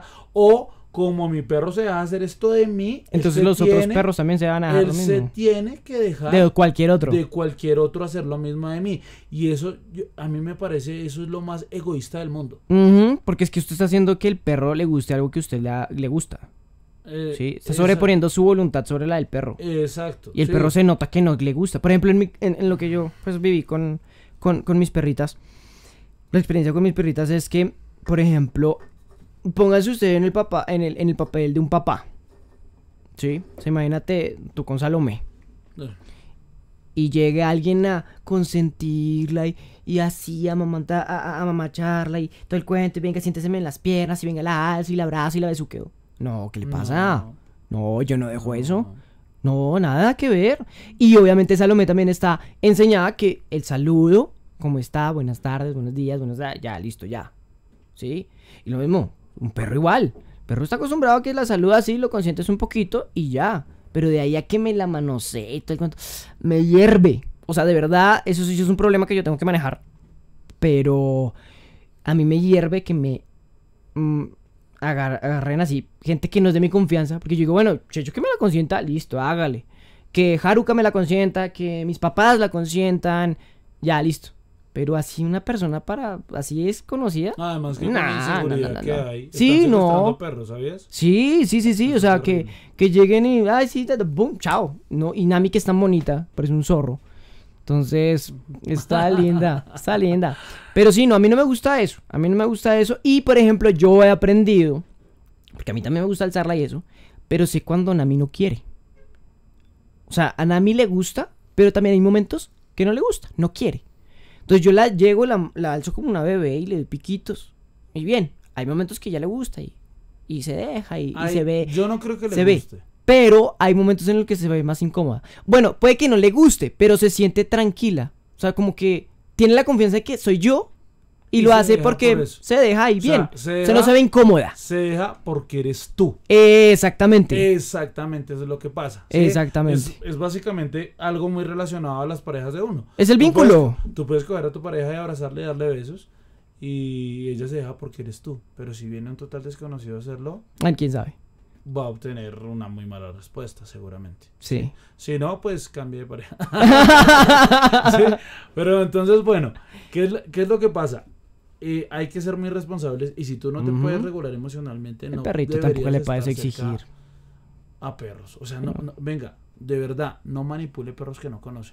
Consejo del día, si usted no conoce el perro, no lo coja. Sí, no. Ese, esa, esa teoría de que él nunca lo había hecho, yo ya me la conozco. Ah, pero es que él, él nunca lo había hecho, es, es a la vez la que con la que comenzó y ese es el problema. Ya, punto. Y ahí ya el perro arranca, que esa era una manera de alejar a las personas. Entonces, evitemos todas esas cosas. Si usted está muriéndose de ganas por tocar un perro, por lo menos pregunte, venga, ¿será que puedo ir a tocar? O cómo lo toco, ¿O o cómo sea, le al gusta que lo toquen? O, ¿O qué le tengo que hacer? Porque es que, es que hay gente que es demasiado invasiva. Mm, Demasiado horrible, invasiva con los perros. horrible. Entonces una vez, yo me acuerdo que una vez estaba con Casper precisamente y estaba, estábamos dictando un curso con, como con 15 personas Sí. y yo estaba trabajando con él, lo dejé en una zonita de control y llegó una chica, y entonces el perro se dejó consentir normal y después lo cogió y lo abrazó. Entonces el perro estaba incómodo, claramente se quería hacer soltar, le lamía la cara, le lamía la cara, le lamía la cara. La chica, ay, es que me está dando eso, me está dando... Y yo, oye, no, quiere que tú te vayas. Y yo digo, ay, pero porque sabe que quiere que yo me vaya. Sencillo, retírate y verás que el perro no te sigue a darte besos para que lo sigas consintiendo. Se paró y el perro hizo como que, Así pasa. O sea, por ejemplo, con Nami, con Nami inmediatamente la dejan de consentir y prum, detrás mío. Detrás mío, de una. no les gusta. Y es como, ya, déjame en paz. Y lo miran a uno como, por favor, resuelve la situación, Ayúdame, o- ayúdame, o, Hay yo tengo que no solucionar. Pero, o sea, por ejemplo, eso, eso también es una cosa que yo aprendí con, con justamente el curso. Yo dije, no, el perro confía en uno, ¿sí? Y él sabe que si uno lo respalda, que si uno, uno puede solucionar ciertas cosas, él no tiene que recurrir a las cosas que nosotros sabemos que puede hacer un perro, que es ya sea escapar, morder y pues hacerle el resto de cosas, ¿sí? Que alguna de esas tiene que hacer, alguna de esas tiene que hacer. Pues obviamente antes de mostrar, bueno, es que no todos los perros lo hacen, que hay unos que sí muestran señales de calma de una, pero hay otros que de una dicen, no señor. No, todos tome". muestran, pero ah, eh, algunos lo hacen mucho más rápido. Eh, exactamente. Eso es lo que pasa. O sea, el, el lapso de, de mostrarlo, o sea, no es lo mismo como, ya, a, a ver, si no me viste, ya, no, otros es como, no, ta, listo. Exacto. Sí, sí, sí, sí. Exacto. Entonces es, es, es ese tema. Y eso no quiere decir que el perro sea agresivo. No, no, para nada, Para no, nada. eso no significa eso, nada. No, no, no. No, quiere decir que Ni que sea arisco, ni que sea maleducado. Que- Ellos tienen su propio espacio, hay que respetarlo. Exactamente. que respetarlo. Eh, eh, y, y hay gente que es muy imprudente. Nosotros, yo soy un poquito radical con eso. y es Yo que- después de eso dejé de consentir perros ajenos. Porque yo sí me acercaba, yo, pues obviamente me acercaba despacito por el ladito y, y consentía un poquitico el lomito ahí al lado, Sí. a un ladito y ya, ya, sin nada por encima ni nada, porque eso también es como predisposición para ellos. Pero sí, y ya. Pero después de eso dije, "Mm, mm, no vuelvo a consentir un perro. Sí, puede ser un perro más lindo y todo, pero siempre va a preguntar, ¿voy a consentir tal cosa, tal cosa? Y ya, paré de contar. Y, y si usted no puede preguntar y demás, es mejor que se aleje de los perros. Si usted no se puede regular emocionalmente, no espere que un perro lo haga por usted. Entonces sí, eso, eso, es, eso es muy, muy, muy importante. Eh, y hay, hay muchísimas otras cosas eh, que sencillamente no le gustan a los perros.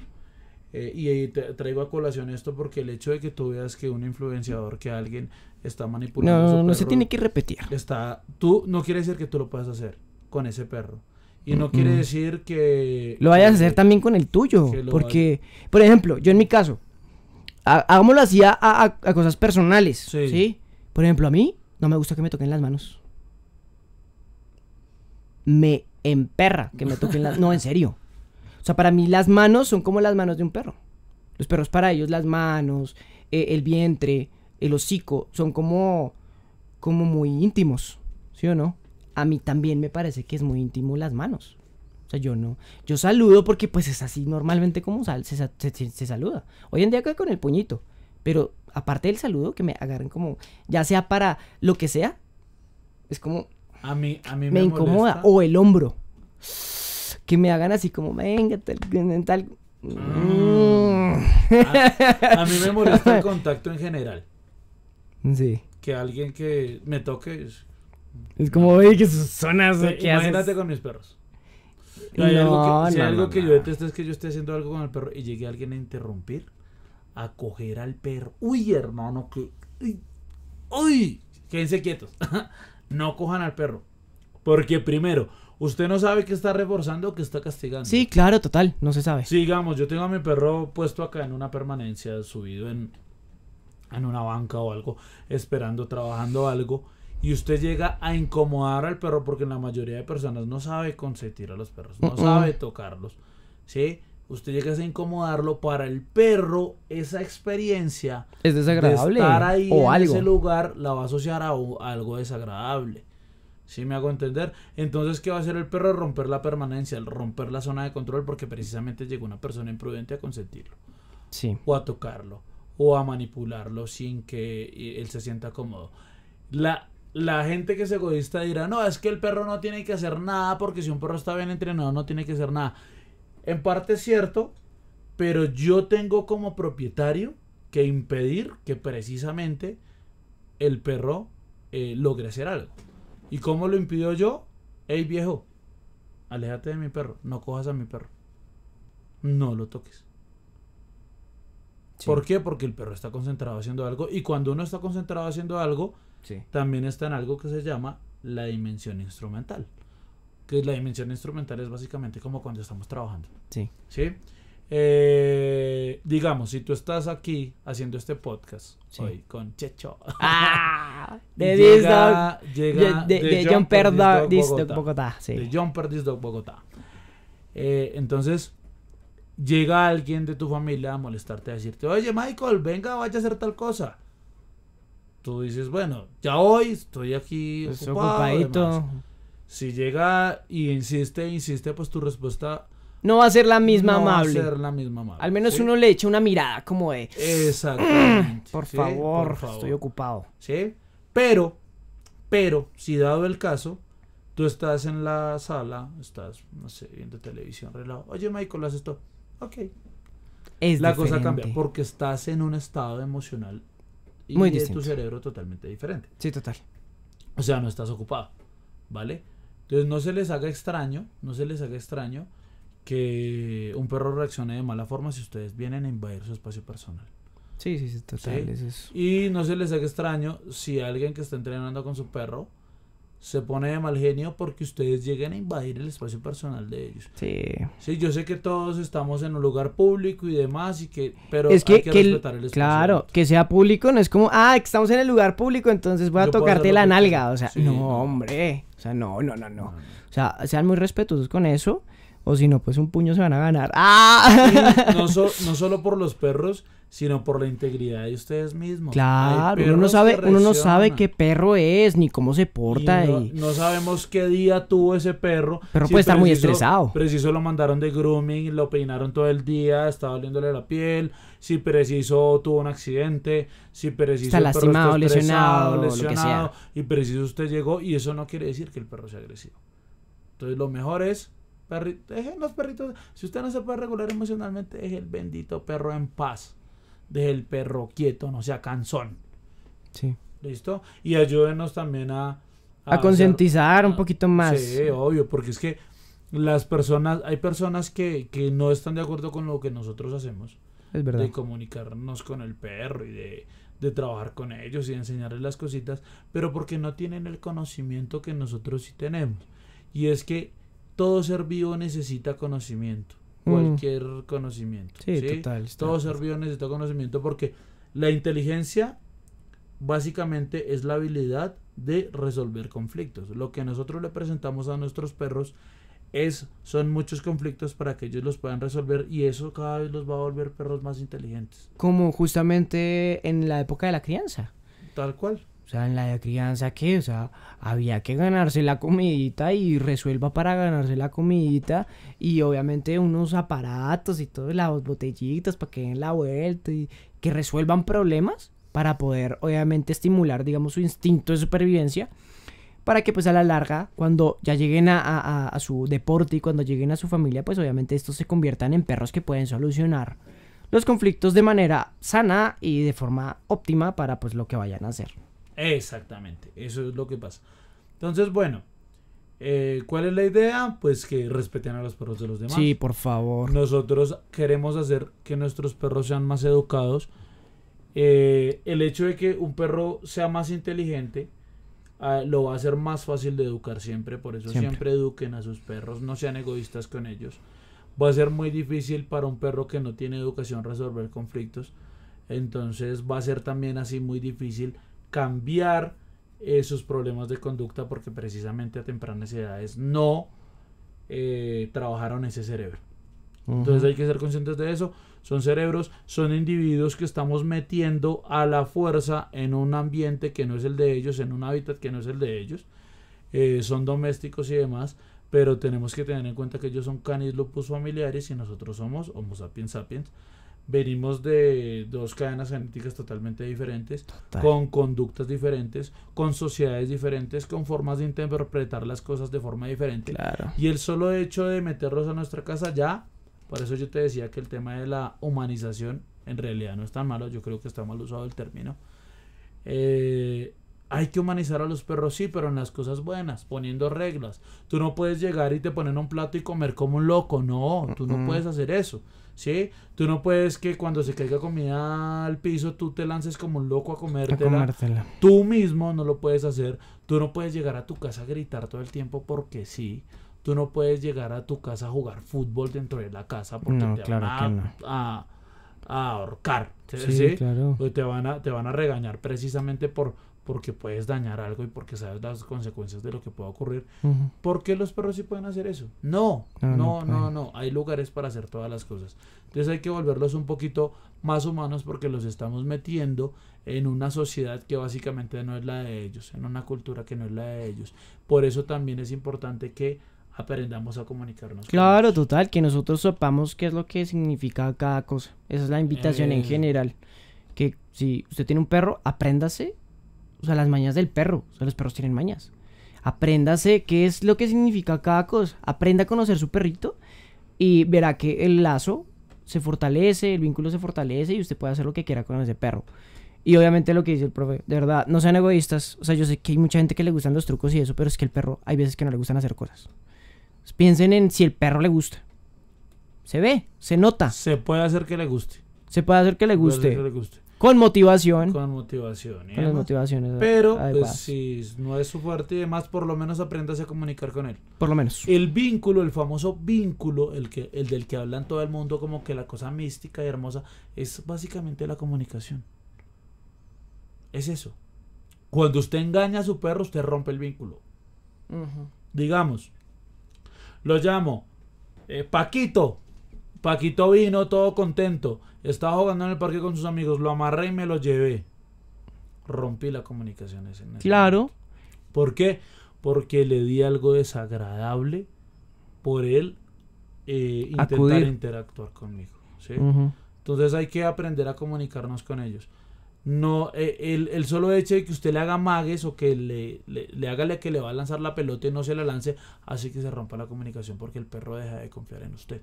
Claro. ¿sí? Entonces no hay que romper esa confianza, hay que continuar con esa confianza. Siempre es importante que el perro confíe en nosotros. El hecho de golpearlos, pegarles, hace que se rompa la comunicación. Claro. Sí, hace que el perro no confíe en nosotros. No solo eso, sino que les enseña a la larga a que la forma de comunicarse es otra. Y de resolver, Y de los resolver conflictos. es. Conflictos, es esa. es con violencia. Yo- no, no sabes a cuántas casas he llegado yo que les pegaban con el periódico y medio tú alzas la mano o algo Y de una. el perro te pela los dientes o sale disparado a Así es. Aria.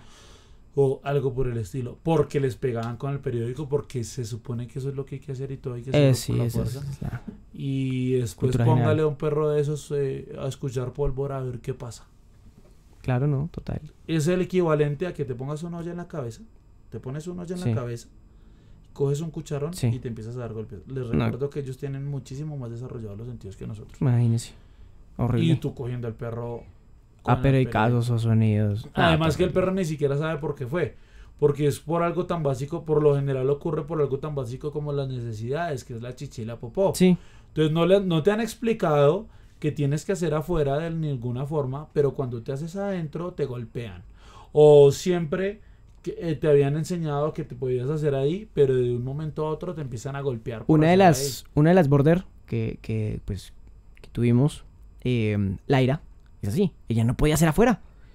No podía hacer afuera. Y fue como, pues claro que no va a hacer afuera, porque o sea, hacía adentro en donde no era y la regañaban. Ella Pues- aprendió a hacer en el balcón, perfecto. Pero hacía adentro y la regañaban. Pero cuando trató de hacer afuera y se le enseñó, tratar de enseñarla que hiciera afuera, pues no recibía ningún reforzador. Entonces para ella era más cómodo estar haciendo adentro que estar haciendo afuera. Y ojalá que no la vieran, que no la pillaran. ¿Qué Exactamente. es lo que ocurre? Básicamente cuando hacen eso le están enseñando al perro a que no debe hacer en presencia de ustedes. Estamos jodidos en ese. Sí, ¿no? No que no debe hacer ahí, sino que no debe hacer en presencia, Presencia de, ustedes. Otra cosa muy importante, cuando hacen eso con el perro, si de verdad usted lo pretende castigar, tiene que, que demorarse usted máximo 1.2 segundos. Máximo en Sí, sí, castigar al timing se perro. pierde. Recién ocurrió La conducta que la no queremos. conducta que no queremos. Si no es así, usted va a estar castigando al perro por lo último que hizo. Y eso pudo haber sido Meterse a la cama, lamer, comer. mirar, lo que sea. O sea, Exacto. es horrible. Exacto. Pero bueno. Eso, por ejemplo, pues bueno, ya saben cuál es la invitación. eh, contacten justamente al, al, al profe Sergio Moncada. Ahí está justamente en el, en el link, está en la descripción de- del podcast, ya sea pues en la plataforma que lo esté escuchando o lo esté viendo. Ahí están todas las redes sociales también de, del profe Sergio, de John Perdist Bogotá, para que ustedes pues obviamente, eh, pues si está interesado, no importa, no importa el, el- el- el perro que usted tenga y, y quiera pues empezar, pues échese la comunicada y ahí pues de una estará eh, el profe. Eh, trabajamos el tema deportivo en los perros, sobre todo es nuestra especialidad y la modificación de conducta. Cualquier conducta se puede enseñar y cualquier conducta se puede modificar. Así que si a usted le dijeron que su perro no servía para el deporte, que su perro no... Es mentira, sencillamente tenemos que cambiar las motivaciones y manejar mejor los recursos y verá que su perro sí sirve para eso. Sí, sí. Verá que su perro sí sirve para eso. Eh, otra cosa es que como lo hace- hacemos el tema deportivo tan, tan específico, no es lanzarle al perro dos mil veces el disco o la No, pelota. no. No, no es eso. Eh, lo que hacemos es llevar unos buenos protocolos, trabajar propiocepción, trabajar grupos musculares, trabajar cardio, trabajar muchísimas cosas con el perro para que los perros no se desestabilicen emocionalmente y a la vez tengan muy bien trabajado su cerebro y su cuerpo para poder resistir el entrenamiento intenso. Claro. ¿sí? Eso que recomiendan con los Border Collie, con los Pastor Belga, con todo eso, de lanzarle dos mil peces uno por No, hay que de- cuidar el perrito. eso no hay que hacerlo, eso es mentira, que porque son hiperactivos, que porque son eh, incansables. No, mire, o sea, ahí pongámoslo a- a- a- aquí en este momento. Nami está por ahí. Y, y cuando han visto a Nami fregar, no, Nami está acostada, está relajada. Y así pasa igual con, con Bruno, con Lila, con Casper, con Gwen. Ellos en este momento deben estar allá en un rincón, todos arrunchaditos, chévere. Durmiendo. Tranquilo. Porque saben que no tienen que trabajar. Y no quiere decir que yo esta mañana salí a entrenar o a lanzarles los discos No, dos mil veces. ese es el estado de calma de ellos. Eso es un Es más, de hecho llevan tres semanas sin entrenar. Tres semanas llevan sin entrenar los perros. ¿Por qué? Pues por todo el tema de diciembre, por todo el tema de viajes, demás. Eh, no, llevan en- sin entrenar tres semanas y ya están perfectos. Allá están juiciosos. Un perro que se sabe regular emocionalmente. El ejercicio es salud para todo individuo. Pero un perro que se sabe regular emocionalmente no va a necesitar del ejercicio físico para portarse bien. Una cosa es estar cansado y otra cosa es estar tranquilo. Mm. Son dos estados mentales totalmente diferentes. Completamente diferentes. Estar cansado es una cosa. Estar cansado es ausencia de energía, agotamiento físico. Total. Eso es cansancio. O emocional también, ¿no? Sí, claro, obvio. Eh, y estar tranquilo es sencillamente saber regular tus emociones. Mm. Eso es estar tranquilo, ¿vale?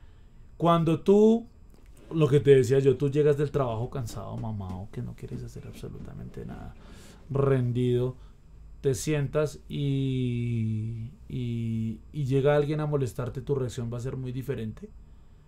Eh, a cuando estás sencillamente tranquilo, te sabes regular emocionalmente y llega alguien a molestarte. Incluso te puedes poner a jugar con esa persona. Claro. ¿Sí? Entonces, eh, una cosa es estar cansado, otra cosa es estar tranquilo, ¿vale?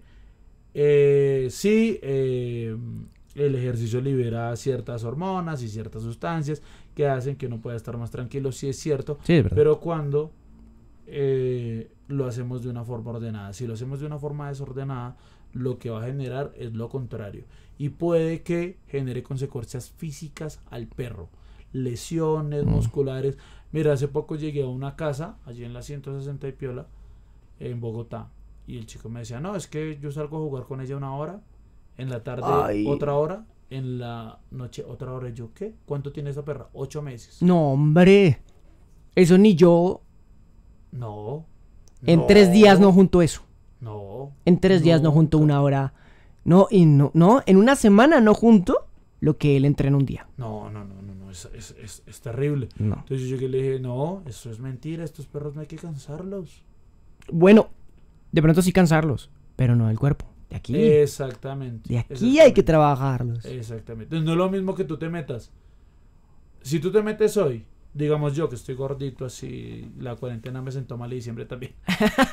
Pero no es lo mismo que yo me vaya a, Sí. a, a meterle una hora de gimnasio todos los días. Hoy me voy a cansar, hoy voy a estar reventado. En seis meses ya no me va a dar tan duro. Ya va a ser rutina. Sí. Ya va a ser normal. Pero si yo hoy me meto a hacer una clase de cálculo y me vuelvo a meter en una clase de cálculo dentro de seis meses, voy a salir igual de cansado. ¿Por qué? Porque no es lo mismo estar atento y concentrado y cumplir una función que correr a lo, A lo salvaje. a lo salvaje. Sí, no. ¿sí? Eso, el ejercicio así como lo hacen y como lo recomiendan muchas personas, eh, genera más problemas de los que resuelve. Sí, total. ¿sí? Genera que los perros no se puedan regular emocionalmente. Ansiedad por separación, agresividad, miedo, muchas fobias, eh, trastornos obsesivos, Aversiones. eh, trastornos compulsivos, eh, estereotipias, mejor dicho. O sea, genera mil y un problemas. Y después, pues ahí sí nos buscan a nosotros para trabajar. Para tratar de solucionarlo. trabajar, eh, Y que lo solucionemos nosotros, ¿no? Porque no quieren tampoco participar de, del proceso de rehabilitación, que es una cosa que... Si es así, déjalo ir. sí, no, ya, Total. sí, no. Pero bueno. Pero bueno, Checho, muchas, muchas gracias por estar acá. Qué tema tan interesante. Yo sé que la gente está como eh, súper entusiasmada en este momento, pues por el asunto del disco. Yo creo que nos van a estar buscando. Ya saben, ahí está todas las redes sociales, justamente del profe ahí en la descripción. Eh, pues nada, pues para que se animen a este bello deporte para generar ese vínculo y pues disfrutar su perro, que yo creo que es una cosa que la gente no hace en realidad. Lo tiene, lo acaricia y ya, pero no lo disfruta como nosotros disfrutamos nuestros perruditos. Entonces, pues la invitación es esa. Eh, ¿Algún consejo ahí para cerrar? ¿Algún consejo? Déjenlo ser perros. Eh, Y el mismo que les dije, si tú no te puedes regular emocionalmente, no, No le tengas pidas a un tu perro. perro. que se regule emocionalmente o no tengas un perro. Preferiblemente. Si tienes un problema psicológico fuerte, si no es un perro de apoyo emocional, lo mejor es que no tengas un perro, porque muchas veces los perros generan trastornos en base a eso. Entrenen con sus perros, sean felices, busquen ayuda profesional, no se pongan a improvisar. Los perros son individuos y todo lo que hagan ustedes a edades tempranas se va a repercutir en eh, cuando los perros sean adultos. Busquen ayuda siempre de un profesional. Para eso hay gente formándose, hay gente estudiando, hay gente trabajando. Esos son los consejos. Sí. Sigan a Michael y síganme. Entonces, pues bueno, muchas gracias a todos los que nos estuvieron escuchando hasta este momento. No se les olvide que hay un capítulo por ahí guardadito, ya viene otro. O sea, métanse ahí a todos los capitulitos, ahí, ahí. Ahorita, de hecho, pues hay varios. Entonces, pues para que echen una, una ojeada y pues, eh, pues disfruten de, de cada capítulo de Hablemos. Entonces, pues nada. Entonces, de verdad, muchas gracias, Chicho, por tu tiempo. Y, y pues no, nos vemos entonces en el- la próxima semana. Si este es el último capítulo que salió, pues entonces la próxima semana sale capítulo 1. Entonces, se me cuidan. Chao. Chao.